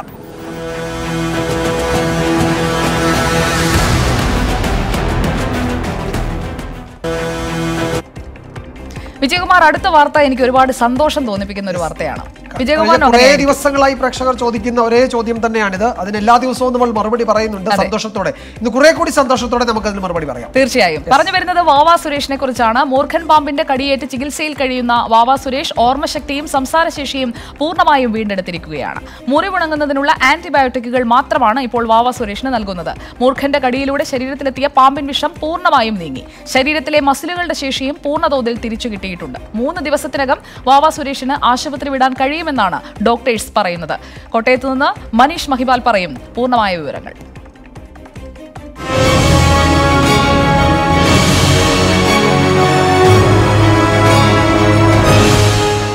ആരോഗ്യ പ്രവർത്തകരുടെയും ഡോക്ടർമാരുടെയും കഠിന പരിശ്രമം ആധുനിക ചികിത്സാ രീതികൾ ഒടുവിൽ മൂർഖൻ പാമ്പിനെ തോൽപ്പിച്ച് മെല്ലെ സംസാരിച്ചും എഴുന്നേറ്റ് നടന്നും വാവ സുരേഷ് ജീവിതത്തിലേക്ക് തിരികെ എത്തുകയാണ്.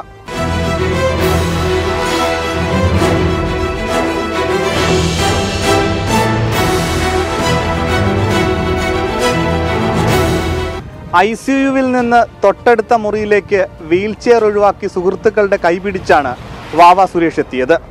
ആശുപത്രിയിൽ സഹോദരി അടക്കമുള്ള ബന്ധുക്കൾ കൂടെയുണ്ട്. അടുത്ത സുഹൃത്ത് സന്തോഷാണ് മുറിയിലൊപ്പമുള്ളത്.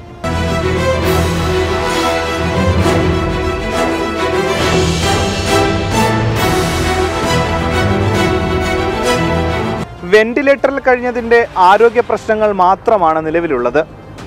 ജീവൻ രക്ഷാ ഉപാധികളൊന്നും ഉപയോഗിക്കുന്നില്ല എന്നും മെഡിക്കൽ ബുള്ളറ്റിൻ പറയുന്നു.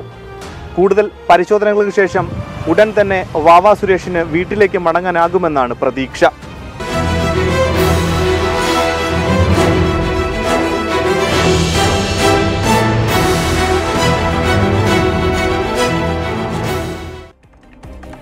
ഇനി നമുക്ക് സംസ്ഥാനത്തെ ചില വാർത്തകൾ ചുരുക്കത്തിൽ വേഗത്തിൽ കാണാം. News fast Kerala.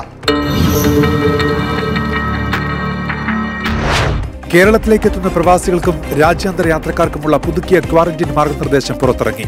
രോഗലക്ഷണമുള്ളവർക്ക് മാത്രം പരിശോധന നിർബന്ധം. ഏഴ് ദിവസം ഗൃഹനിരീക്ഷണം. എട്ടാം ദിവസം R T P C R പരിശോധന നിർബന്ധമല്ല.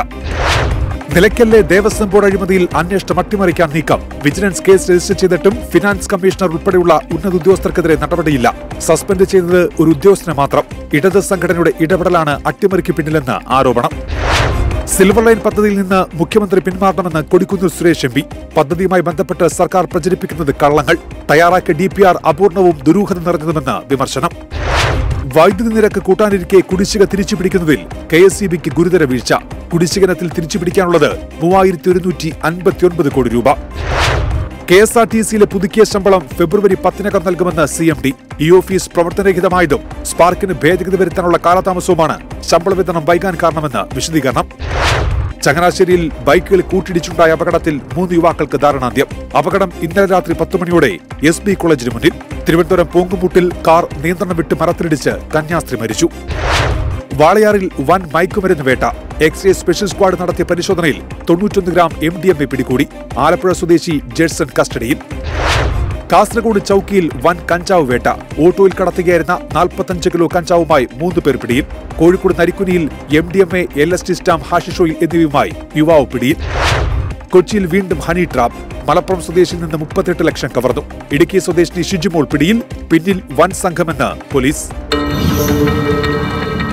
ഒരു വാർത്താ ദിനത്തിലെ മുഴുവൻ വാർത്തകളുമായി വാർത്താമഴ തുടരുകയാണ്. നമ്മൾ ഇനി കോവിഡ് കണക്കുകളുടെ വിശദാംശങ്ങളിലേക്കാണ് കടക്കുന്നത്. ഇന്നും ആശ്വാസത്തിന്റെ കണക്കുകളാണ് പുറത്തു വന്നത് അല്ലേ? അതെ ആ കുന്ന് കയറിപ്പോയത് അതേ വേഗത്തിൽ തന്നെ തിരിച്ചു ഇറങ്ങി ഇതാണ് ലോകത്ത് മുഴുവൻ ഈ ഒമിക്രോൺ വ്യാപിച്ചപ്പോൾ കണ്ടത്. കേരളവും അതേ സാഹചര്യത്തിലൂടെയാണ് കടന്നത്. ഒരാഴ്ച ഒമിക്രോൺ ബാധിച്ച് കിടക്കുന്നു. അത് കഴിയുമ്പോൾ തിരികെ പഴയ ജീവിതത്തിലേക്ക്. അപ്പോൾ നമുക്ക് ആ പുതിയ സാഹചര്യം എന്താണെന്ന് പരിശോധിക്കാം. സംസ്ഥാനത്ത് മുപ്പത്തി മൂവായിരത്തി അഞ്ഞൂറ്റി മുപ്പത്തെട്ട് പേർക്ക് കൂടിയാണ് കോവിഡ് സ്ഥിരീകരിച്ചത്. കഴിഞ്ഞ ഇരുപത്തിനാല് മണിക്കൂറിനിടെ ഒരു ലക്ഷത്തി രണ്ടായിരത്തി എഴുന്നൂറ്റി എഴുപത്തെട്ട് സാമ്പിളുകളാണ് സംസ്ഥാനത്ത് പരിശോധിച്ചത്. മുപ്പത്തിരണ്ട് ദശാംശം ആറ് മൂന്ന് ശതമാനമാണ് ടെസ്റ്റ് പോസിറ്റിവിറ്റി നിരക്ക്. ഇന്നും എറണാകുളം ജില്ലയിലാണ് ഏറ്റവും കൂടുതൽ കോവിഡ് ബാധിതർ. തിരുവനന്തപുരത്ത് മൂവായിരത്തി തൊള്ളായിരത്തി പന്ത്രണ്ട് പേർക്കും കോട്ടയത്ത് മൂവായിരത്തി അഞ്ഞൂറ്റി അറുപത്തി ഒൻപത് പേർക്കും രോഗബാധ സ്ഥിരീകരിച്ചു. നിലവിൽ മൂന്ന് ലക്ഷത്തി അൻപത്തിരണ്ടായിരത്തി മുന്നൂറ്റി തൊണ്ണൂറ്റി ഒൻപത് പേരാണ് സംസ്ഥാനത്ത് ചികിത്സയിലുള്ളത്. ഓക്കെ നമുക്ക് അല്ലമീനിലേക്ക് പോകാം. തിരുവനന്തപുരത്ത് നിന്നും അല്ലമീൻ തയ്യാറാണ്. Good evening and welcome to Varthamazha Alameen. Covid കണക്കുകൾ കുറഞ്ഞു വരുന്നു. ആ ഒരു സന്തോഷമൊക്കെ അല്ലമീന്റെ മുഖത്തുമുണ്ടല്ലോ സ്കൂളുകളൊക്കെ തുറക്കാൻ പോകുന്നു. എന്തൊക്കെയാണ് ഈ പുതിയ സാഹചര്യത്തിലെ ക്രമീകരണങ്ങൾ മാറ്റങ്ങൾ? സുജയ ഗുഡ് ഈവനിങ് സംസ്ഥാനത്ത് വലിയ തോതിൽ ഉയർന്നു വന്ന പ്രതിദിന കണക്ക് കോവിഡ് വ്യാപനത്തിന്റെ പ്രതിദിന കണക്ക് അത് ആശ്വാസകരമായ ഒരു സാഹചര്യത്തിലേക്ക് മാറുന്നു എന്നുള്ളതാണ് കഴിഞ്ഞ രണ്ട് മൂന്ന് ദിവസമായി വരുന്ന കണക്കുകളിൽ നിന്ന് മനസ്സിലാക്കാനാകുന്നത്. ഇന്നും ഇന്നലെയും മെനിഞ്ഞാന്നുമൊക്കെ തന്നെ പ്രതിദിന രോഗികളെക്കാൾ കൂടുതൽ രോഗമുക്തരുണ്ട് എന്നുള്ളതും ആശ്വാസത്തിന് വക നൽകുന്ന കണക്കുകളാണ്. നേരത്തെ തന്നെ നിങ്ങളെ കണക്ക് സൂചിപ്പിച്ചതുകൊണ്ട് ഞാൻ അതിലേക്ക് പോകുന്നില്ല. ടി പി ആർ നിരക്കിലും ഗണ്യമായുള്ള കുറവ് ആ അർത്ഥത്തിൽ തന്നെ രേഖപ്പെടുത്തുകയാണ്. ഈ മാസം പതിനഞ്ചാം തീയതി വരെയാണ് ഇതിന്റെ ഒരു പീക്ക് ടൈമായി ആരോഗ്യവകുപ്പ് വിലയിരുത്തിയിരുന്നത്. അതിനുശേഷം താഴേക്കിറങ്ങും കുന്നിറക്കം ഉണ്ടാകുമെന്നുള്ളതായിരുന്നു ആരോഗ്യവകുപ്പും വിലയിരുത്തിയിരുന്നത്. എന്നാൽ ആ പതിനഞ്ചിന് മുൻപ് തന്നെ ശുഭകരമായ ഒരു സൂചന തന്നെയാണ് ഉണ്ടാകുന്നത് എന്നതാണ് മനസ്സിലാക്കാനാകുന്നത്. ഒരു വേള ആശുപത്രികളിലെ സംവിധാനങ്ങളൊക്കെ തന്നെ അത് കൈവിട്ടു പോകുമോ എന്നൊരു ആശങ്ക നേരിയ തോതിലെങ്കിലും സംസ്ഥാന സർക്കാരിനും ആരോഗ്യവകുപ്പിനും ഉണ്ടായിരുന്നു. എന്നാൽ അത്ര ആശങ്കകൾക്കൊന്നും തന്നെ അടിസ്ഥാനമില്ല എന്ന് തെളിയിക്കുന്നതാണ് കഴിഞ്ഞ രണ്ട് മൂന്ന് ദിവസമായുള്ള കണക്കുകൾ. ഒപ്പം ഈ കണക്കുകൾ പൊതുവിൽ ഇത്തരം ഒരു ആശ്വാസം നൽകുമ്പോൾ തന്നെ ഈ വിദേശ യാത്രകൾ സംസ്ഥാനത്തേക്ക് എത്തുന്ന അന്താരാഷ്ട്ര യാത്രക്കാർക്കും ആശ്വാസകരമായ തീരുമാനം സർക്കാർ കൈക്കൊണ്ടിട്ടുണ്ട്. സംസ്ഥാനത്ത് വരുന്ന വിദേശ യാത്രികരും അതുപോലെ തന്നെ ചുരുങ്ങിയ ദിവസത്തേക്കാണെങ്കിലും വരുന്ന അന്താരാഷ്ട്ര യാത്രക്കാരും അവരുടെ ക്വാറന്റൈൻ മാനദണ്ഡങ്ങളിൽ സംസ്ഥാനം മാറ്റം വരുത്തിയിരിക്കുകയാണ്. രോഗലക്ഷണങ്ങൾ ഉണ്ടെങ്കിൽ മാത്രം പരിശോധനയ്ക്ക് വിധേയമായാൽ മതി എന്നുള്ളതാണ് ഇപ്പോഴത്തെ പുതുക്കിയ തീരുമാനം. പക്ഷേ വരുന്നവർ ഒരാഴ്ച ഒരു സെൽഫ് ക്വാറന്റൈൻ സ്വയം നിരീക്ഷണം ഏർപ്പെടുത്തണം നിർദ്ദേശം സർക്കാർ പുറപ്പെടുവിച്ചിട്ടുണ്ട്. ഏതെങ്കിലും അർത്ഥത്തിൽ ഇതിനിടയിൽ രോഗലക്ഷണങ്ങൾ പ്രകടമാവുകയാണെങ്കിൽ പരിശോധനയ്ക്ക് വിധേയമാവുകയും വേണം. അല്ലാത്ത പക്ഷം അത്തരം പരിശോധനകൾ വേണ്ട എന്നുള്ളതാണ് ആ, നിലവിൽ ഏറ്റവും ഒടുവിൽ ഇറക്കിയ ഒരു തീരുമാനം തീരുമാനത്തിൽ പറയുന്നത്. അതോടൊപ്പം തന്നെ ഈ രോഗവ്യാപനത്തിന്റെ പശ്ചാത്തലത്തിൽ സംസ്ഥാനത്ത് ഏർപ്പെടുത്തിയ വാരാന്ത്യ ലോക്ക്ഡൗൺ അത് നാളെയും തുടരുകയാണ്. ഒരുപക്ഷെ അടുത്ത അവലോകന യോഗത്തിൽ ഈ ഒരു നിയന്ത്രണം ഉണ്ടാകുമോ എന്നുള്ളത് അതൊരു പക്ഷേ മാറി ചിന്തിക്കാനുള്ള സാധ്യതയും തള്ളിക്കളയാനാകില്ല നിലവിലെ സാഹചര്യത്തിൽ. നാളെ ഏതായിരുന്നാലും സംസ്ഥാനത്ത് സമ്പൂർണ ലോക്ക്ഡൌണിന് സമാനമായിട്ടുള്ള നിയന്ത്രണങ്ങൾ ഉണ്ടാകും. കഴിഞ്ഞ രണ്ട് ഞായറാഴ്ചയിൽ Okay. സമാനമായ സാഹചര്യമായിരുന്നു. അത്. Thank you Alameen good night അപ്പോൾ അഹ്, പ്രേക്ഷകരുടെ ചോദ്യത്തിനുള്ള മറുപടി ആയിരിക്കുകയാണ്. നാളെ ലോക്ക്ഡൌണിന് സമാനമായ നിയന്ത്രണങ്ങളുള്ള ഞായറാഴ്ചയാണ്. അവശ്യ സർവീസുകൾക്ക് മാത്രം അനുമതി വെറുതെ ഒരു കാര്യവുമില്ലാതെ പുറത്തിറങ്ങി കറങ്ങേണ്ട എന്നാണ് ആരോഗ്യവകുപ്പ് അറിയിച്ചിരിക്കുന്നത്. നമ്മൾ ഇടവേളയ്ക്ക് മുൻപ് സൂചിപ്പിച്ച റിപ്പോർട്ടിലേക്കാണ് ഇനി പോകുന്നത്. പറവൂരിൽ മത്സ്യത്തൊഴിലാളിയായ സജീവൻ ആത്മഹത്യ ചെയ്ത സംഭവം. അതിൽ ഉദ്യോഗസ്ഥർക്കെതിരെ നിയമ നടപടിക്കൊരുങ്ങുകയാണ് കുടുംബം. കളക്ടറുടെ റിപ്പോർട്ടിൽ പറയുന്നത് തെറ്റായ കാര്യങ്ങളെന്ന് അവർ പറയുന്നു. കളക്ടറുടെ നടപടി ഉദ്യോഗസ്ഥരെ സംരക്ഷിക്കാനാണെന്നും കുടുംബാംഗങ്ങൾ ഇന്ന് ട്വന്റി ഫോറിനോട് പറഞ്ഞു. അതേസമയം സജീവന്റെ അപേക്ഷയിൽ കാലതാമസം ഉണ്ടായിട്ടില്ലെന്നും വേണ്ട രീതിയിൽ അത് പരിഗണിച്ചിരുന്നുവെന്നുമാണ് എറണാകുളം ജില്ലാ കളക്ടർ ജാഫർ മാലിക് അറിയിച്ചത്. വിനിത വിജി ഈ വാർത്തയുടെ മറ്റു വിശദാംശങ്ങൾ നൽകും.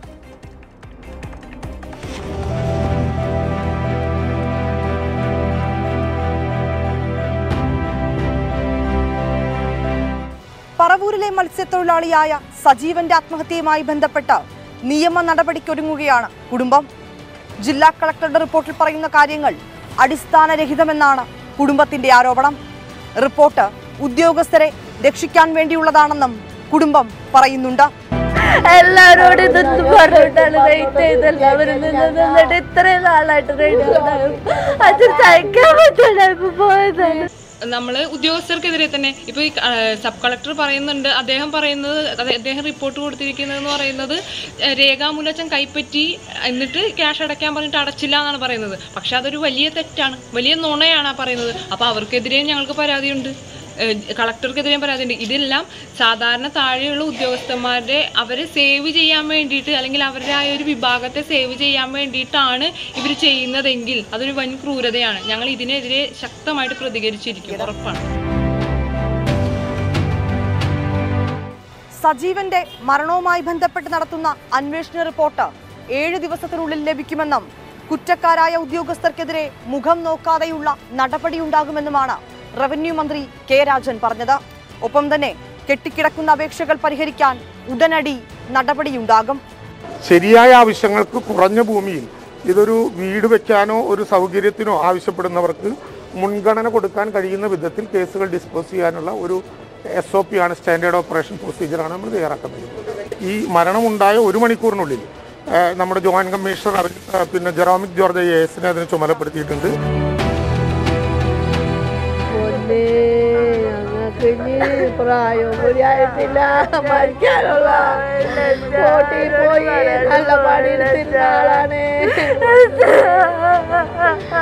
കോട്ടിൽ മോനുള്ളത് പാടില്ല മോന് പാടില്ലാത്ത ആളാണ്. പണിയെടുത്തിരുത്താനായിട്ട് ഉദ്യോഗസ്ഥർ കൈക്കൂലി ആവശ്യപ്പെട്ടുവെന്നുള്ള കുടുംബത്തിന്റെ ആരോപണങ്ങളെ പാടെ തള്ളുകയാണ് ജില്ലാ കളക്ടർ റിപ്പോർട്ടിൽ സജീവന്റെ അപേക്ഷ ലഭിച്ചപ്പോൾ തന്നെ ആവശ്യമായിട്ടുള്ള നടപടിക്രമങ്ങൾ സ്വീകരിച്ചിട്ടുണ്ട്.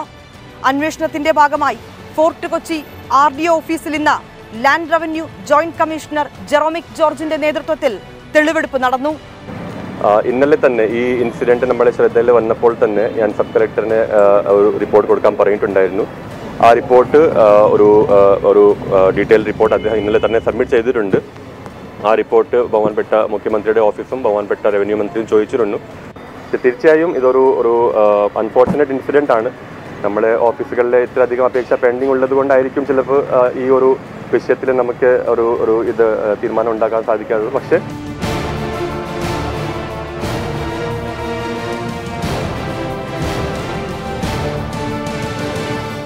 അതേസമയം ഫോർട്ട് കൊച്ചി ആർ ഡി ഓഫീസിനെതിരെ കൂടുതൽ പരാതികളുമായി ആളുകൾ രംഗത്തെത്തുകയാണ്. നിലം പുരയിടമാക്കാൻ അപേക്ഷ നൽകി ഏഴു മാസമായിട്ടും നടപടിയില്ല എന്ന് പരാതിക്കാരൻ പറയുന്നു. ഞാനും ഈ പറഞ്ഞ പോലെ ഈ ഒരു അപേക്ഷ കൊടുത്തിട്ട് ഏഴ് മാസത്തോളമായി.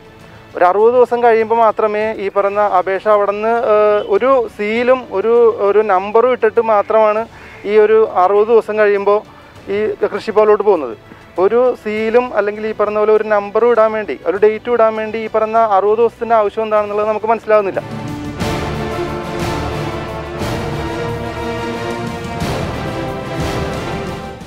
ഓരോ ഫയലും ഓരോ ജീവിതമാണെന്നിരിക്കെ ഫോർട്ട് കൊച്ചി ആർ ഡി ഓഫീസിൽ മാത്രം കെട്ടിക്കിടക്കുന്നത് നിരവധി അപേക്ഷകളാണ്.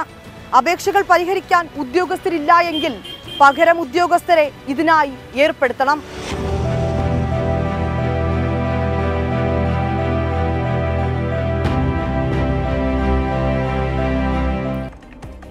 വാർത്താമഴയിൽ ഇനി തലക്കെട്ടുകൾ നോക്കാം. മിന്നലായി.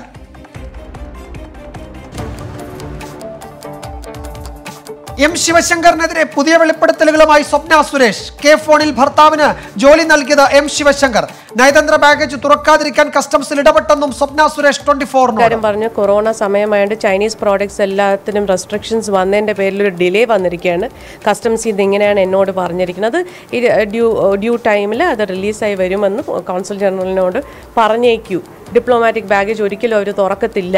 പേടിക്കണ്ട. ഇങ്ങനെ പല മെസ്സേജസ് തന്നത് ഞാൻ എന്റെ കോൺസുൽ ജനറലിനോടും ഡിപ്ലോമാറ്റ്സിനോടും ഒക്കെ അറിയിച്ചിട്ടുണ്ടായിരുന്നു as a part of my official capacity സന്ദീപും സരിത്തും ഇ ഡി കസ്റ്റഡി ആസ്വദിച്ചു. കേന്ദ്ര ഏജൻസിക്കെതിരെ സന്ദീപ് പരാതി നൽകിയത് അത്ഭുതപ്പെടുത്തി.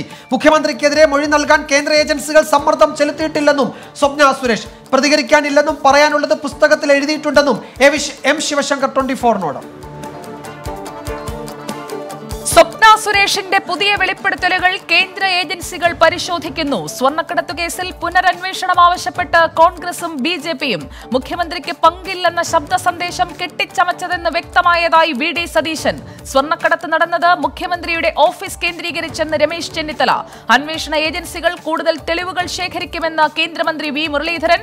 സത്യം എപ്പോഴും തെളിച്ചത്തോടെ നിൽക്കുമെന്ന് കെ ടി ജലീൽ. നടിയെ ആക്രമിച്ച കേസിൽ ദൃശ്യങ്ങൾ ചോർന്നതിനെതിരെ സുപ്രീം കോടതി ചീഫ് ജസ്റ്റിസിന് നടിയുടെ പരാതി. ദൃശ്യങ്ങൾ ചോർന്നതോടെ സ്വകാര്യത ഹനിക്കപ്പെട്ടു. പരാതിയുടെ പകർപ്പ് രാഷ്ട്രപതി പ്രധാനമന്ത്രി മുഖ്യമന്ത്രി മനുഷ്യാവകാശ കമ്മീഷൻ എന്നിവർക്കും. അടിയന്തര നടപടി വേണമെന്ന് കത്തിൽ ഗൂഢാലോചന കേസ് മുൻകൂട്ടി തയ്യാറാക്കിയ പദ്ധതി പ്രകാരമെന്ന് ഹൈക്കോടതിയിൽ എഴുതി നൽകിയ മറുവാദത്തിൽ ദിലീപ്.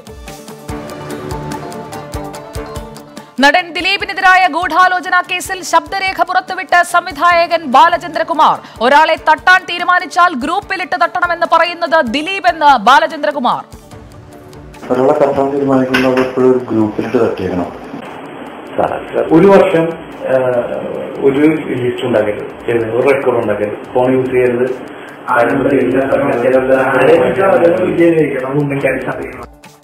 ശബ്ദപരിശോധനയ്ക്ക് സന്നദ്ധത അറിയിച്ച പ്രതികൾ സംവിധായകൻ ബാലചന്ദ്രകുമാറിനെതിരെ പീഡന പരാതിയുമായി യുവതി പത്തു വർഷം മുൻപ് ജോലി വാഗ്ദാനം ചെയ്ത് പീഡിപ്പിച്ചെന്ന് കണ്ണൂർ സ്വദേശി കെട്ടിച്ചമച്ചതെന്ന് ബാലചന്ദ്രകുമാർ ഭീഷണിപ്പെടുത്തിയാലും പിന്നോട്ടില്ലെന്ന് സംവിധായകന്റെ പ്രതികരണം. സംസ്ഥാനത്ത് വിദ്യാലയങ്ങൾ വീണ്ടും തുറക്കാൻ സജ്ജം. പത്ത് മുതൽ പ്ലസ് ടു വരെ ക്ലാസുകൾ വൈകിട്ട് വരെ. ഒന്ന് മുതൽ ഒൻപത് വരെ ക്ലാസുകൾ വൈകിട്ട് വരെ നീട്ടുന്നതും പരിഗണനയിൽ. നാളെ ലോക്ഡൌൺ സമാന നിയന്ത്രണം. അവശ്യ സർവീസുകൾക്ക് തടസ്സമില്ല. കേരളത്തിലേക്ക് എത്തുന്ന അന്താരാഷ്ട്ര യാത്രക്കാർക്കുള്ള കോവിഡ് മാർഗനിർദ്ദേശം പുതുക്കി. രോഗലക്ഷണങ്ങളുള്ളവർ മാത്രം പരിശോധന നടത്തിയാൽ മതി. ഗൃഹനിരീക്ഷണം തുടരും. സംസ്ഥാനത്ത് കോവിഡ് ബാധിതരുടെ എണ്ണത്തിൽ കുറവ് ഇന്ന് മുപ്പത്തി കോവിഡ് ബാധിതർ. ദേവികുളം മുൻ എം എൽ എ എസ് രാജേന്ദ്രനെതിരെ ജാതീയ പരാമർശവുമായി സി പി ഐ എം നേതാവ് M M Mani Rajendran M L A ആയത് ജാതി പരിഗണനയിൽ.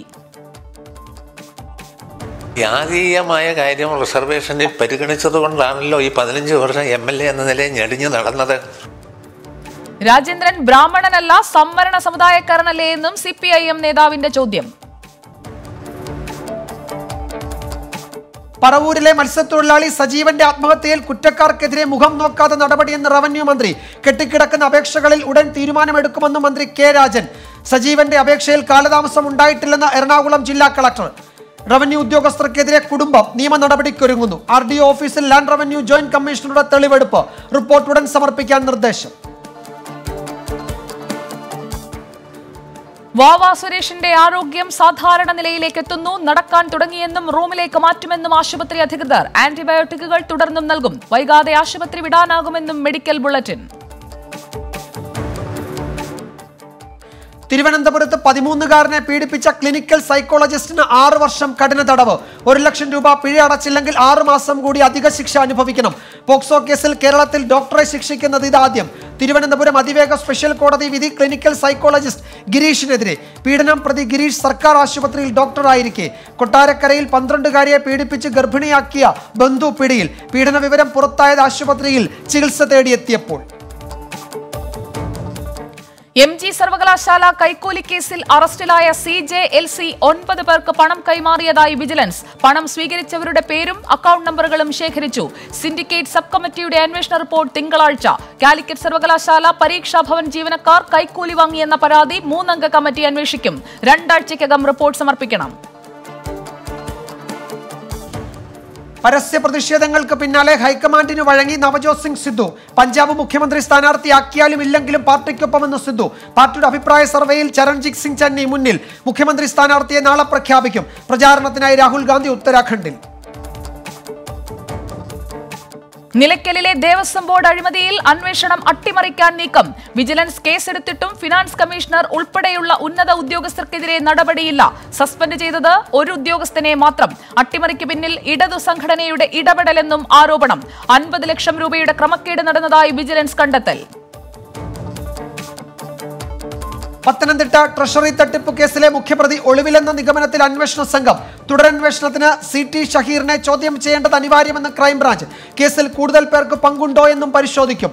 ഭരണകക്ഷി യൂണിയനിൽപ്പെട്ട ഉദ്യോഗസ്ഥരെ കേസിൽ നിന്ന് രക്ഷിക്കാനുള്ള ശ്രമം നടക്കുന്നതായ ആരോപണം. തിരുവനന്തപുരത്ത് കന്യാസ്ത്രീകൾ സഞ്ചരിച്ചിരുന്ന കാർ നിയന്ത്രണം തെറ്റി മരത്തിലിടിച്ച് ഒരു മരണം. മരിച്ചത് ഡോട്ടേഴ്സ് ഓഫ് മേരി സഭയിലെ സിസ്റ്റർ ഗ്രേസ് മാത്യു. അപകടം തൃശൂരിൽ നിന്നും നെടുമങ്ങാട്ടേക്ക് വരുന്നതിനിടെ പിരപ്പൻകോട് വെച്ച് പരിക്കേറ്റ നാലു പേർ ചികിത്സയിൽ. പഠിക്കാത്തതിന്റെ പേരിൽ ട്യൂഷൻ അധ്യാപിക നാലാം ക്ലാസ്സുകാരിയെ ക്രൂരമായി മർദ്ദിച്ചെന്ന് പരാതി. സംഭവം കൊല്ലം പരവൂരിൽ. നഗ്നയാക്കി ദേഹമാസകലം മർദ്ദിച്ചെന്ന് കുട്ടി. പോലീസിലും ശിശുക്ഷേമ സമിതിയിലും പരാതി നൽകി രക്ഷിതാക്കൾ. കോഴിക്കോട് നരിക്കുനിയിൽ വൻ ലഹരിവേട്ട ആയിരത്തി ഒരുന്നൂറ്റി അറുപത് മില്ലിഗ്രാം എം ഡി എം എയും നൂറ്റി ഇരുപത് മില്ലിഗ്രാം എൽ എസ് ഡി സ്റ്റാമ്പും പിടികൂടി. ചേളന്നൂർ സ്വദേശി കിരൺ പിടിയിൽ ഒരാൾ ഓടി രക്ഷപ്പെട്ടു. കാസർഗോഡ് ചൌക്കിയിൽ ഇരുപത്തിരണ്ട് കിലോ കഞ്ചാവുമായി മൂന്ന് പേർ അറസ്റ്റിൽ. കഞ്ചാവ് കടത്താൻ ശ്രമിച്ചത് ഓട്ടോറിക്ഷയിൽ. കരുനാഗപ്പള്ളിയിൽ രണ്ടിടങ്ങളിൽ നടത്തിയ ലഹരിമരുന്ന് വേട്ടയിൽ നാലു പേർ പിടിയിൽ. ഗവർണറുടെ പേഴ്സണൽ സ്റ്റാഫിൽ ബി ജെ പി നേതാവിനെ നിയമിക്കാൻ നീക്കം. അഡീഷണൽ പേഴ്സണൽ അസിസ്റ്റന്റായി നിയമിക്കുന്നത് ബി ജെ പി സംസ്ഥാന കമ്മിറ്റി അംഗം ഹരി എസ് കർത്തയെ. നിയമന ശുപാർശ അടങ്ങിയ ഫയൽ സെക്രട്ടേറിയറ്റിലെത്തി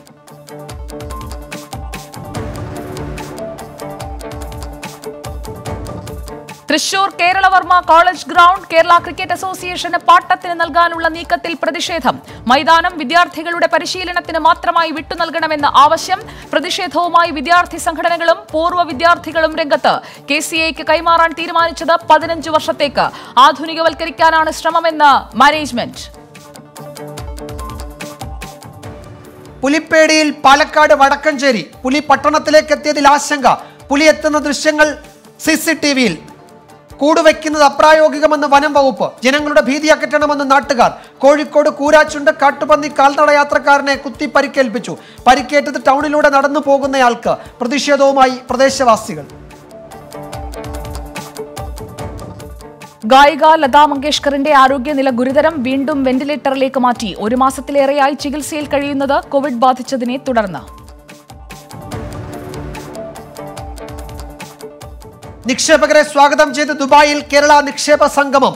സംസ്ഥാനത്തെ നിക്ഷേപ സാധ്യതകൾ പരിചയപ്പെടുത്തി. കേരളം ഏറ്റവും നിക്ഷേപ സുരക്ഷയുള്ള സംസ്ഥാനമെന്ന് മുഖ്യമന്ത്രി. പ്രശ്നങ്ങൾ പരിഹരിക്കാൻ പ്രത്യേക സമിതിയെ നിയോഗിക്കും.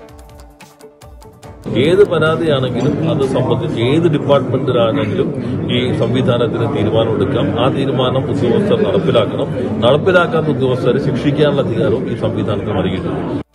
മലയാളികളോടുള്ള യു എ യുടെ സ്നേഹം തെളിയിക്കുന്നതാണ് മുഖ്യമന്ത്രിക്ക് ലഭിച്ച സ്വീകരണമെന്ന് ഇന്ത്യൻ കോൺസുലേറ്റ് ജനറൽ.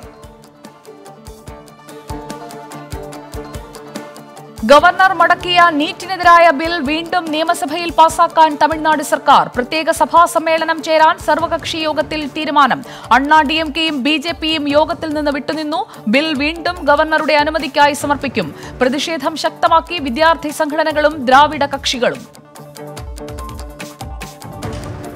വീണ്ടും പ്രകോപനവുമായി ഇമ്രാൻഖാൻ ജമ്മു കാശ്മീരിൽ ഹിതപരിശോധന വേണമെന്ന ആവശ്യം ഇന്ത്യ ഗുരുതരമായ മനുഷ്യാവകാശ ലംഘനം നടത്തുന്നുവെന്നും പാക് പ്രധാനമന്ത്രി ജമ്മു കാശ്മീരിൽ രണ്ട് ഭീകരരെ സുരക്ഷാ സേന വധിച്ചു. കൊല്ലപ്പെട്ടവർ ലഷ്കറിന്റെ ഷാഡോ സംഘടനയിൽ പ്രവർത്തിക്കുന്നവർ ഭീകരരിൽ നിന്ന് തോക്കുകൾ കണ്ടെടുത്തു. ഫേസ്ബുക്ക് പോസ്റ്റുമായി ബന്ധപ്പെട്ട ദി കാശ്മീരിവാല വാരികയുടെ എഡിറ്റർ അറസ്റ്റിൽ രാജ്യവിരുദ്ധ പ്രചാരണം നടത്തിയെന്ന് ജമ്മു കാശ്മീർ പോലീസ്.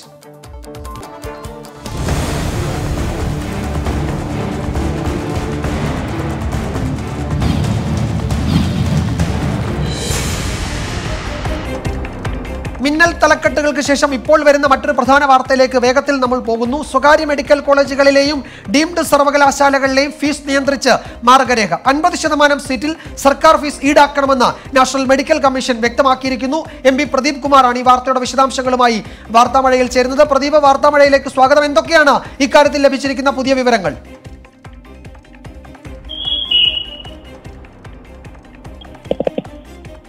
പ്രദീപ കേൾക്കാമോ? ഫീസ് നിയന്ത്രിച്ചുകൊണ്ടുള്ള മാർഗരേഖയാണ് ഇപ്പോൾ വന്നിരിക്കുന്നത്. അതായത് സ്വകാര്യ മെഡിക്കൽ കോളേജുകളിലെ ഫീസിന് നിയന്ത്രണം വരികയാണ്. ഈ മാർഗരേഖയുടെ വിശദാംശങ്ങൾ നമ്മൾ പരിശോധിക്കുമ്പോൾ അൻപത് ശതമാനം സീറ്റിൽ സർക്കാർ ഫീസ് ഈടാക്കണമെന്നുള്ളതാണ് നാഷണൽ മെഡിക്കൽ കമ്മീഷന്റെ മാർഗരേഖയിലെ ഏറ്റവും പ്രധാനപ്പെട്ട കാര്യം. എം പി പ്രദീപ് കുമാർ ഈ മാർഗരേഖയുടെ വിശദാംശങ്ങൾ എന്തൊക്കെ?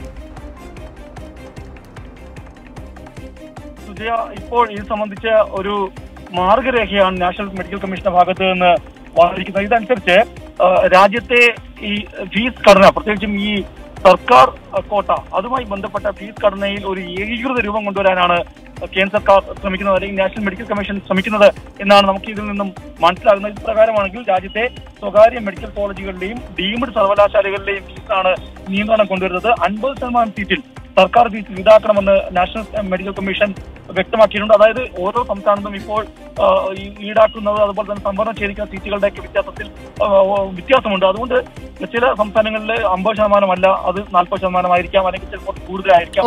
അറുപത് ശതമാനമായിരിക്കാം. അപ്പൊ അങ്ങനെയെങ്കിൽ അവിടെയൊക്കെ തന്നെ അമ്പത് ശതമാനം എന്നത് മസ്റ്റായിട്ട് അതായത് ഉറപ്പായും അത് കൊണ്ടുവരണം. അവിടെ സംസ്ഥാന സർക്കാർ അതായത് ഏത് സംസ്ഥാനങ്ങളിലെ ആ സംസ്ഥാനങ്ങളിലെ സർക്കാർ നിശ്ചയിച്ച ഫീസ് തന്നെ ഈടാക്കണം എന്നുള്ളതാണ് നാഷണൽ മെഡിക്കൽ കമ്മീഷൻ ഇപ്പോൾ വ്യക്തമാക്കിയിട്ടുള്ളത്. അതുപോലെ തന്നെ സംവരണം ചില മേഖലകൾ സംസ്ഥാനങ്ങളിൽ ഈ കോട്ട അത് കുറവായിരിക്കും. അങ്ങനെയെങ്കിൽ അവിടെ ഇപ്പോൾ ഈ കുറയുന്ന എണ്ണം ആ എണ്ണത്തിൽ അവിടുത്തെ ഏറ്റവും മെറിറ്റുള്ള വിദ്യാർത്ഥികൾക്കായിരിക്കണം. അതായത് ഏറ്റവും കൂടുതൽ മെറിറ്റുള്ള വിദ്യാർത്ഥികൾക്ക് ആദ്യം പ്രവേശനം നൽകുന്ന രീതിയിലായിരിക്കണം പ്രവേശനം ക്രമീകരിക്കേണ്ടത് അതാണ് പുതുക്കിയ മാർഗരേഖ വിശദാംശങ്ങളാണ് എം പി പ്രദീപ് കുമാർ ഡൽഹിയിൽ നിന്നും പങ്കുവച്ചത്. മറ്റൊരു പ്രധാനപ്പെട്ട വാർത്ത ഒരു ഡോക്ടർ ഒരു പോക്സോ കേസിൽ ശിക്ഷ ഏറ്റുവാങ്ങുന്നു എന്നുള്ള തിരുവനന്തപുരത്ത് നിന്ന് വരുന്ന വാർത്തയാണ്. നമ്മളെ ഞെട്ടിപ്പിച്ച വാർത്തയായിരുന്നു. അതെ അതെ. അതിന്റെ വിശദാംശങ്ങളിലേക്ക് നമുക്ക് പോകാം. ഇനി തിരുവനന്തപുരത്ത് പതിമൂന്നുകാരനെ പീഡിപ്പിച്ച കേസിൽ പ്രതിയായ ക്ലിനിക്കൽ സൈക്കോളജിസ്റ്റ് ഗിരീഷിന് ആറു വർഷം കഠിന തടവും ഒരു ലക്ഷം രൂപ പിഴയും ശിക്ഷ. തിരുവനന്തപുരം സ്പെഷ്യൽ ഫാസ്റ്റ് ട്രാക്ക് കോടതിയാണ് ശിക്ഷ വിധിച്ചത്. ചികിത്സ തേടിയെത്തിയാണ് കുട്ടിയെ ഇയാൾ പീഡിപ്പിച്ചത് എന്നുള്ളതാണ് ഇതിലെ ഏറ്റവും പ്രധാനപ്പെട്ട കാര്യം. ആ സംഭവത്തിന്റെ വിശദാംശങ്ങളിലേക്ക് നമുക്ക് പോകാം.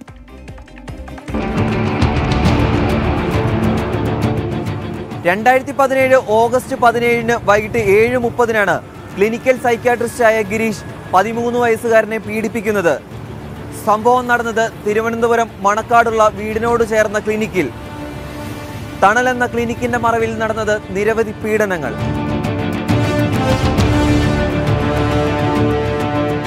കുട്ടി പഠനത്തിൽ പുറകോട്ട് പോകുന്നുവെന്ന് അധ്യാപകർ മാതാപിതാക്കളോട് പരാതി പറഞ്ഞു. കുട്ടി പഠിക്കുന്ന അതേ സ്കൂളിൽ തന്നെ സൈക്യാട്രിസ്റ്റ് ആയിരുന്നു ഗിരീഷും. വിദ്യാർത്ഥികളും മാതാപിതാക്കളും അധ്യാപകരുമായി അടുത്ത ബന്ധം.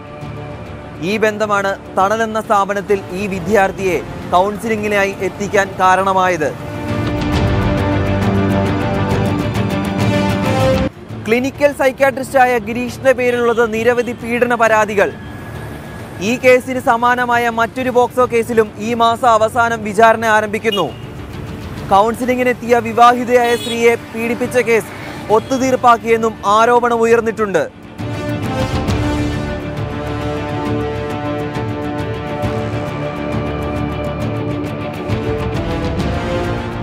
നാലര വർഷത്തിന് ശേഷമാണ് തിരുവനന്തപുരം സ്പെഷ്യൽ ഫാസ്റ്റ് ട്രാക്ക് കോടതി വിധി പറയുന്നത്. പോക്സോ കേസിൽ ഒരു ഡോക്ടറെ ശിക്ഷിക്കുന്നത് ഇതാദ്യം. സർക്കാർ മെന്റൽ ഹെൽത്ത് സെന്ററിലെ ഡോക്ടർ എന്ന നിലയിൽ പ്രതി പരമാവധി സ്വാധീനം ചെലുത്താൻ ശ്രമിച്ചു. ഇരയുടെ ശക്തമായ മൊഴിയും ശക്തമായ തെളിവുകളും നാലര വർഷത്തിന് ശേഷവും ഇരയ്ക്ക് നീതി ലഭിക്കാൻ കാരണമായി.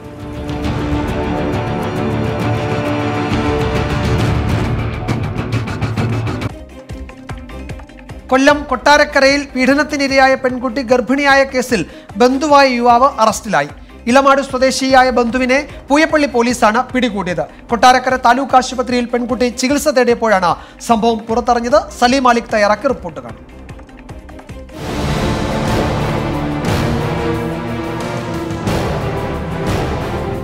ഇന്നലെ രാവിലെ വയറുവേദനയുമായാണ് പന്ത്രണ്ടുകാരിയെ കൊട്ടാരക്കര താലൂക്ക് ആശുപത്രിയിൽ പ്രവേശിപ്പിച്ചത്. പരിശോധിച്ച ഡോക്ടർക്ക് ആദ്യം തന്നെ സംശയം തോന്നി. വിശദമായ പരിശോധനയിൽ ഞെട്ടിക്കുന്ന സത്യമാണ് പുറത്തു വന്നത്.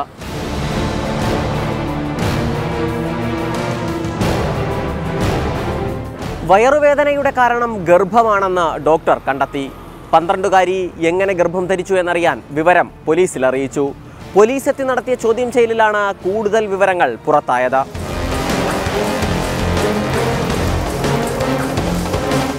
പെൺകുട്ടി ഗർഭം ധരിച്ചത് ബന്ധു കൂടിയായ യുവാവിൽ നിന്ന്.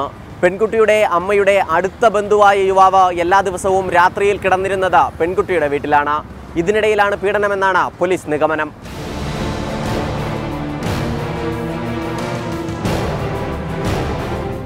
പ്രതിയായ ഇളമാട് സ്വദേശിയെ വൈദ്യപരിശോധനയ്ക്ക് വിധേയനാക്കിയ ശേഷം റിമാൻഡ് ചെയ്തു. പോക്സോ ഉൾപ്പെടെയുള്ള വകുപ്പുകളാണ് പ്രതിക്കെതിരെ പൂയപ്പള്ളി പോലീസ് ചുമത്തിയിരിക്കുന്നത്.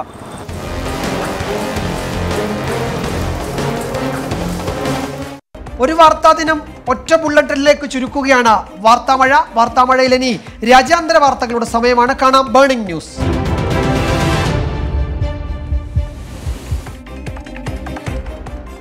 വിജയകുമാർ നമ്മുടെ വാർത്താമഴയിലെ ഒരു ഹൈലൈറ്റ് ആണല്ലേ ഈ ബേണിംഗ് ന്യൂസ് അപ്പോൾ ഈ ലോക വാർത്തകൾക്ക് ചൂട് പിടിപ്പിക്കാൻ അല്ലെങ്കിൽ ചൂടുള്ള ലോക വാർത്തകൾ പ്രേക്ഷകരിലേക്ക് എത്തിക്കാൻ നമ്മുടെ twenty four editor in charge P P James തയ്യാറാണ്. Welcome to Varthamazha P P James good evening Sujaya good evening Vijayakumar. Hi hi. എന്തൊക്കെയുണ്ട്? ലോകമാകെയുള്ള സംഭവ വികാസങ്ങൾ നോക്കുമ്പോൾ ഇപ്പോൾ കായിക ലോകത്തേക്ക് കണ്ണു നട്ട് നിൽക്കുകയാണെന്ന് തോന്നുന്നല്ലോ. ആ തീർച്ചയായിട്ടും. ക്രിക്കറ്റ് ഒരു ഹരമാണ്. അതുകൊണ്ട് തന്നെ പത്തൊമ്പത് വയസ്സിൽ താഴെയുള്ള ക്രിക്കറ്റിന്റെ ലോകകപ്പ് ഫൈനൽ നടക്കുകയാണല്ലോ. ഇന്ത്യയും ഇംഗ്ലണ്ടും തമ്മിൽ. ഇന്ത്യ ഒരു വിജയത്തിന് സാധ്യത മണക്കുന്നുണ്ട്. ഏതാണ്ട് മുപ്പത്തി ആറ് ഓവറൊക്കെ എത്തുമ്പോൾ ഏഴ് വിക്കറ്റുകൾ വീഴ്ത്തിയിരുന്നു. ഈ നിമിഷങ്ങളിൽ വിക്കറ്റ് പിന്നെയും വീണോന്ന് അറിയില്ല. ഏഴ് വിക്കറ്റ് വീഴുകയും ഏതാണ്ട് നൂറ്റി അമ്പത് നൂറ്റി അമ്പത്തഞ്ച് റൺസിലൊക്കെ നിൽക്കുകയായിരുന്നു. ഞാൻ അവസാനമായി കാണുമ്പോൾ സ്വാഭാവികമായിട്ട് അമ്പത് ഓവർ ഓവർ ക്രിക്കറ്റിൽ അത് വളരെ എളുപ്പം എത്താവുന്നൊരു സ്കോറാണ് അതുകൊണ്ട് ഇന്ത്യ അഞ്ചാം തവണയും ലോകകപ്പ് കിരീടം ചൂടുമെന്ന പ്രതീക്ഷയിൽ ഒരു ഹാപ്പി നോട്ടിൽ നമുക്ക് തുടങ്ങാം. ജയിക്കുമെന്ന് ഉറപ്പൊന്നായിട്ടില്ല. കാരണം അത് ബാറ്റിംഗ് പിച്ച് അല്ല എന്ന് തോന്നുന്നു. കാരണം ബൗളർമാരാണ് അവിടെ വലിയ രീതിയിൽ പെർഫോം ചെയ്യുന്നത്. അതിനിടയിൽ ഒരുപക്ഷെ നമ്മളെ സങ്കടപ്പെടുത്തുന്ന ഒരു വാർത്ത വരുന്നത് അമേരിക്കയിലെ വെർജീനിയയിൽ നിന്നാണ്. അവിടെ മെയിൻ ടെക് ക്യാമ്പസിൽ വെർജീനിയയിലെ ടെക് ക്യാമ്പസിൽ അവിടെ ഒരു വലിയ വെടിവയ്പ് നടന്നിരിക്കുന്നു. ഒരാൾ കൊല്ലപ്പെട്ട് നാല് പേർക്ക് ഗുരുതരമായ പരിക്കേറ്റിട്ടുണ്ട്. രണ്ടായിരത്തി ഏഴിൽ വിജയകുമാർ അവിടെ വെടിവെപ്പ് നടന്നിട്ട് മുപ്പത്തിരണ്ട് പേരാണ് കൊല്ലപ്പെട്ടത്. അതിന്റെ സ്മാരകം അവിടെയുണ്ട്. അതിന്റെ അടുത്ത് തന്നെയാണ് വെടിവെപ്പ് നടന്നത്. ഇതിൽ അമേരിക്കയിൽ മുപ്പത്തിരണ്ട് കോടി ജനങ്ങൾക്ക് മുപ്പത്തൊമ്പത് കോടി തോക്കുണ്ട്. അവിടെ തോക്കിന്റെ ലൈസൻസ് നിയമം കൊണ്ടുവരാൻ നോക്കിയിട്ട് അവിടുത്തെ വലിയ വമ്പന്മാർ അതിന് അനുവദിക്കുന്നില്ല. അമേരിക്ക പോലൊരു രാജ്യത്തിന്റെ ഏറ്റവും വലിയ ദുരന്തമാണ്. അതാണ് ഈ മണിക്കൂറുകളിലെ പ്രധാനപ്പെട്ട വാർത്തകളായിട്ട് വരുന്നത്. നമുക്ക് നേരെ പെട്ടെന്ന് വാർത്തകളിലേക്ക് നോക്കാം. സുജിയ വിജയകുമാർ. ഓക്കെ അമേരിക്കയിലെ വെർജീനിയയിലെ മെയിൻ ടെക് ക്യാമ്പസിൽ വെടിവെപ്പിൽ ഒരാൾ കൊല്ലപ്പെട്ടു നാലു പേർ ഗുരുതരാവസ്ഥയിൽ. രണ്ടായിരത്തി ഏഴിൽ ഇതേ ക്യാമ്പസിൽ വെടിവെപ്പിൽ കൊല്ലപ്പെട്ടത് മുപ്പത്തിരണ്ട് പേർ. അമേരിക്കയുടെ തോക്ക് ലൈസൻസ് നയം വീണ്ടും വിവാദത്തിൽ. മുപ്പത്തിരണ്ട് കോടി ജനങ്ങൾക്ക് മുപ്പത്തി ഒൻപത് കോടി തോക്കുകളുടെ ലൈസൻസ്. ടർക്കിഷ് പ്രസിഡന്റ് റസിപ്പ് എർദോഗാനും ഭാര്യയ്ക്കും കോവിഡ് ഒമിക്രോൺ വകഭേദം ബാധിച്ചത് സംഘർഷത്തിലായ ഉക്രൈനിൽ. പ്രസിഡന്റ് സെലൻസ്കിയെ സന്ദർശിച്ച് മടങ്ങിയ ശേഷം. റഷ്യയും ഉക്രൈനും തമ്മിൽ മധ്യസ്ഥ ചർച്ചയ്ക്ക് എർദോഗാൻ. ഒളിമ്പ്യൻ റാഷിദ് ഉൽ ഹസനെ പത്ത് കൊല്ലത്തേക്ക് വിലക്കേർപ്പെടുത്തി പാകിസ്ഥാൻ ഹോക്കി ഫെഡറേഷൻ. പാക് പ്രധാനമന്ത്രി ഇമ്രാൻഖാനെതിരെ വിമർശനം ഉന്നയിച്ചതിനെതിരെയാണ് നടപടി. ആസ്തിയിൽ ഫേസ്ബുക്ക് ഉടമയായ സുക്കർബർഗിനെ മറികടന്ന് ഇന്ത്യൻ കോടീശ്വരന്മാർ. ശതകോടീശ്വര പട്ടികയിൽ ഇന്ത്യൻ വ്യവസായികളായ മുകേഷ് അംബാനിക്കും ഗൗതം അദാനിക്കും താഴെയാണ് ഇപ്പോൾ സുക്കർബർഗിന്റെ സ്ഥാനം. ഇതോടെ ലോക കോടീശ്വരന്മാരുടെ പട്ടികയിൽ പത്താം സ്ഥാനത്തായി സുക്കർബർഗ്. മെറ്റ പ്ലാറ്റ്ഫോംസിന്റെ ഓഹരികളിൽ കഴിഞ്ഞ ദിവസം റെക്കോർഡ് ഇടവ് ഇടിവ് രേഖപ്പെടുത്തിയിരുന്നു. ഭീകര സംഘടനയായ ഇസ്ലാമിക് സ്റ്റേറ്റിന്റെ തലവൻ അബു ഇബ്രാഹിം അൽ ഹഷിമി അൽ ഖുറേഷി കൊല്ലപ്പെട്ടെങ്കിലും ഭീകര സംഘം ഇപ്പോഴും സജീവമെന്ന് യു എൻ റിപ്പോർട്ട്. ആഫ്രിക്കയുടെ പടിഞ്ഞാറൻ മേഖലകളിലും അഫ്ഗാനിലും ഐ എസിന് നിർണായക സ്വാധീനമെന്നും കണ്ടെത്തൽ. ബീജിംഗിൽ നടക്കുന്ന ശീതകാല ഒളിമ്പിക്സ് മത്സരങ്ങൾക്ക് കൃത്രിമ മഞ്ഞ് ഉപയോഗിക്കുന്നത് അപകടകരമെന്ന് റിപ്പോർട്ട്. ഇത് ആഗോള താപനത്തിന് കാരണമാകുമെന്ന് കാലാവസ്ഥ വിദഗ്ധർ. കാലാവസ്ഥ വ്യതിയാനം മൂലം ബെയ്ജിംഗിലെ വടക്ക് പടിഞ്ഞാറൻ പ്രദേശങ്ങളിൽ മഞ്ഞ് പെയ്യാത്ത സാഹചര്യത്തിലാണ് ചൈന കൃത്രിമ മഞ്ഞ് ഉപയോഗിച്ചത്. ആണവ കരാറിൽ ഇറാന് അമേരിക്ക ഏർപ്പെടുത്തിയ സാമ്പത്തിക ഉപരോധത്തിന് ഇളവ് അനുവദിച്ചു. ആണവ പദ്ധതികളിൽ ഇറാനുമായി സഹകരിക്കാൻ രാജ്യങ്ങളെ തടസ്സപ്പെടുത്തിയിരുന്ന ഉപരോധത്തിനാണ് ഇള ഇളവ് അനുവദിച്ചത്. രണ്ടായിരത്തി പതിനഞ്ചിലെ ആണവ കരാർ പുനഃസ്ഥാപിക്കുന്നതുമായി ബന്ധപ്പെട്ട ചർച്ചകൾ നടക്കുന്നതിനിടെയാണ് സംഭവം. അമേരിക്കയിൽ ജനുവരി ആറിന് നടന്ന ക്യാപിറ്റോൾ ഹിൽ ആക്രമണം നിയമാനുസൃത രാഷ്ട്രീയ റാലി എന്ന് റിപ്പബ്ലിക്കൻ പാർട്ടി നാഷണൽ കമ്മിറ്റി ട്രംപിനെ എതിർത്തതിനും കലാപം അന്വേഷിച്ചതിനും റിപ്പബ്ലിക്കൻ പാർട്ടി നേതാക്കൾക്കെതിരെ നടപടി. യോഗം ട്രംപിനെ പിന്തുണച്ചു. പാകിസ്ഥാനിൽ വെടിനിർത്തലിന് തയ്യാറായത് ഇന്ത്യയുടെ ശക്തി മനസ്സിലാക്കിയത് കൊണ്ടാണെന്ന് ഇന്ത്യൻ കരസേനാ മേധാവിയുടെ വാദത്തെ എതിർത്ത് പാകിസ്ഥാൻ. കാശ്മീരിൽ വീണ്ടും പാക് ഭീകരരെ വധിച്ച് ഇന്ത്യ.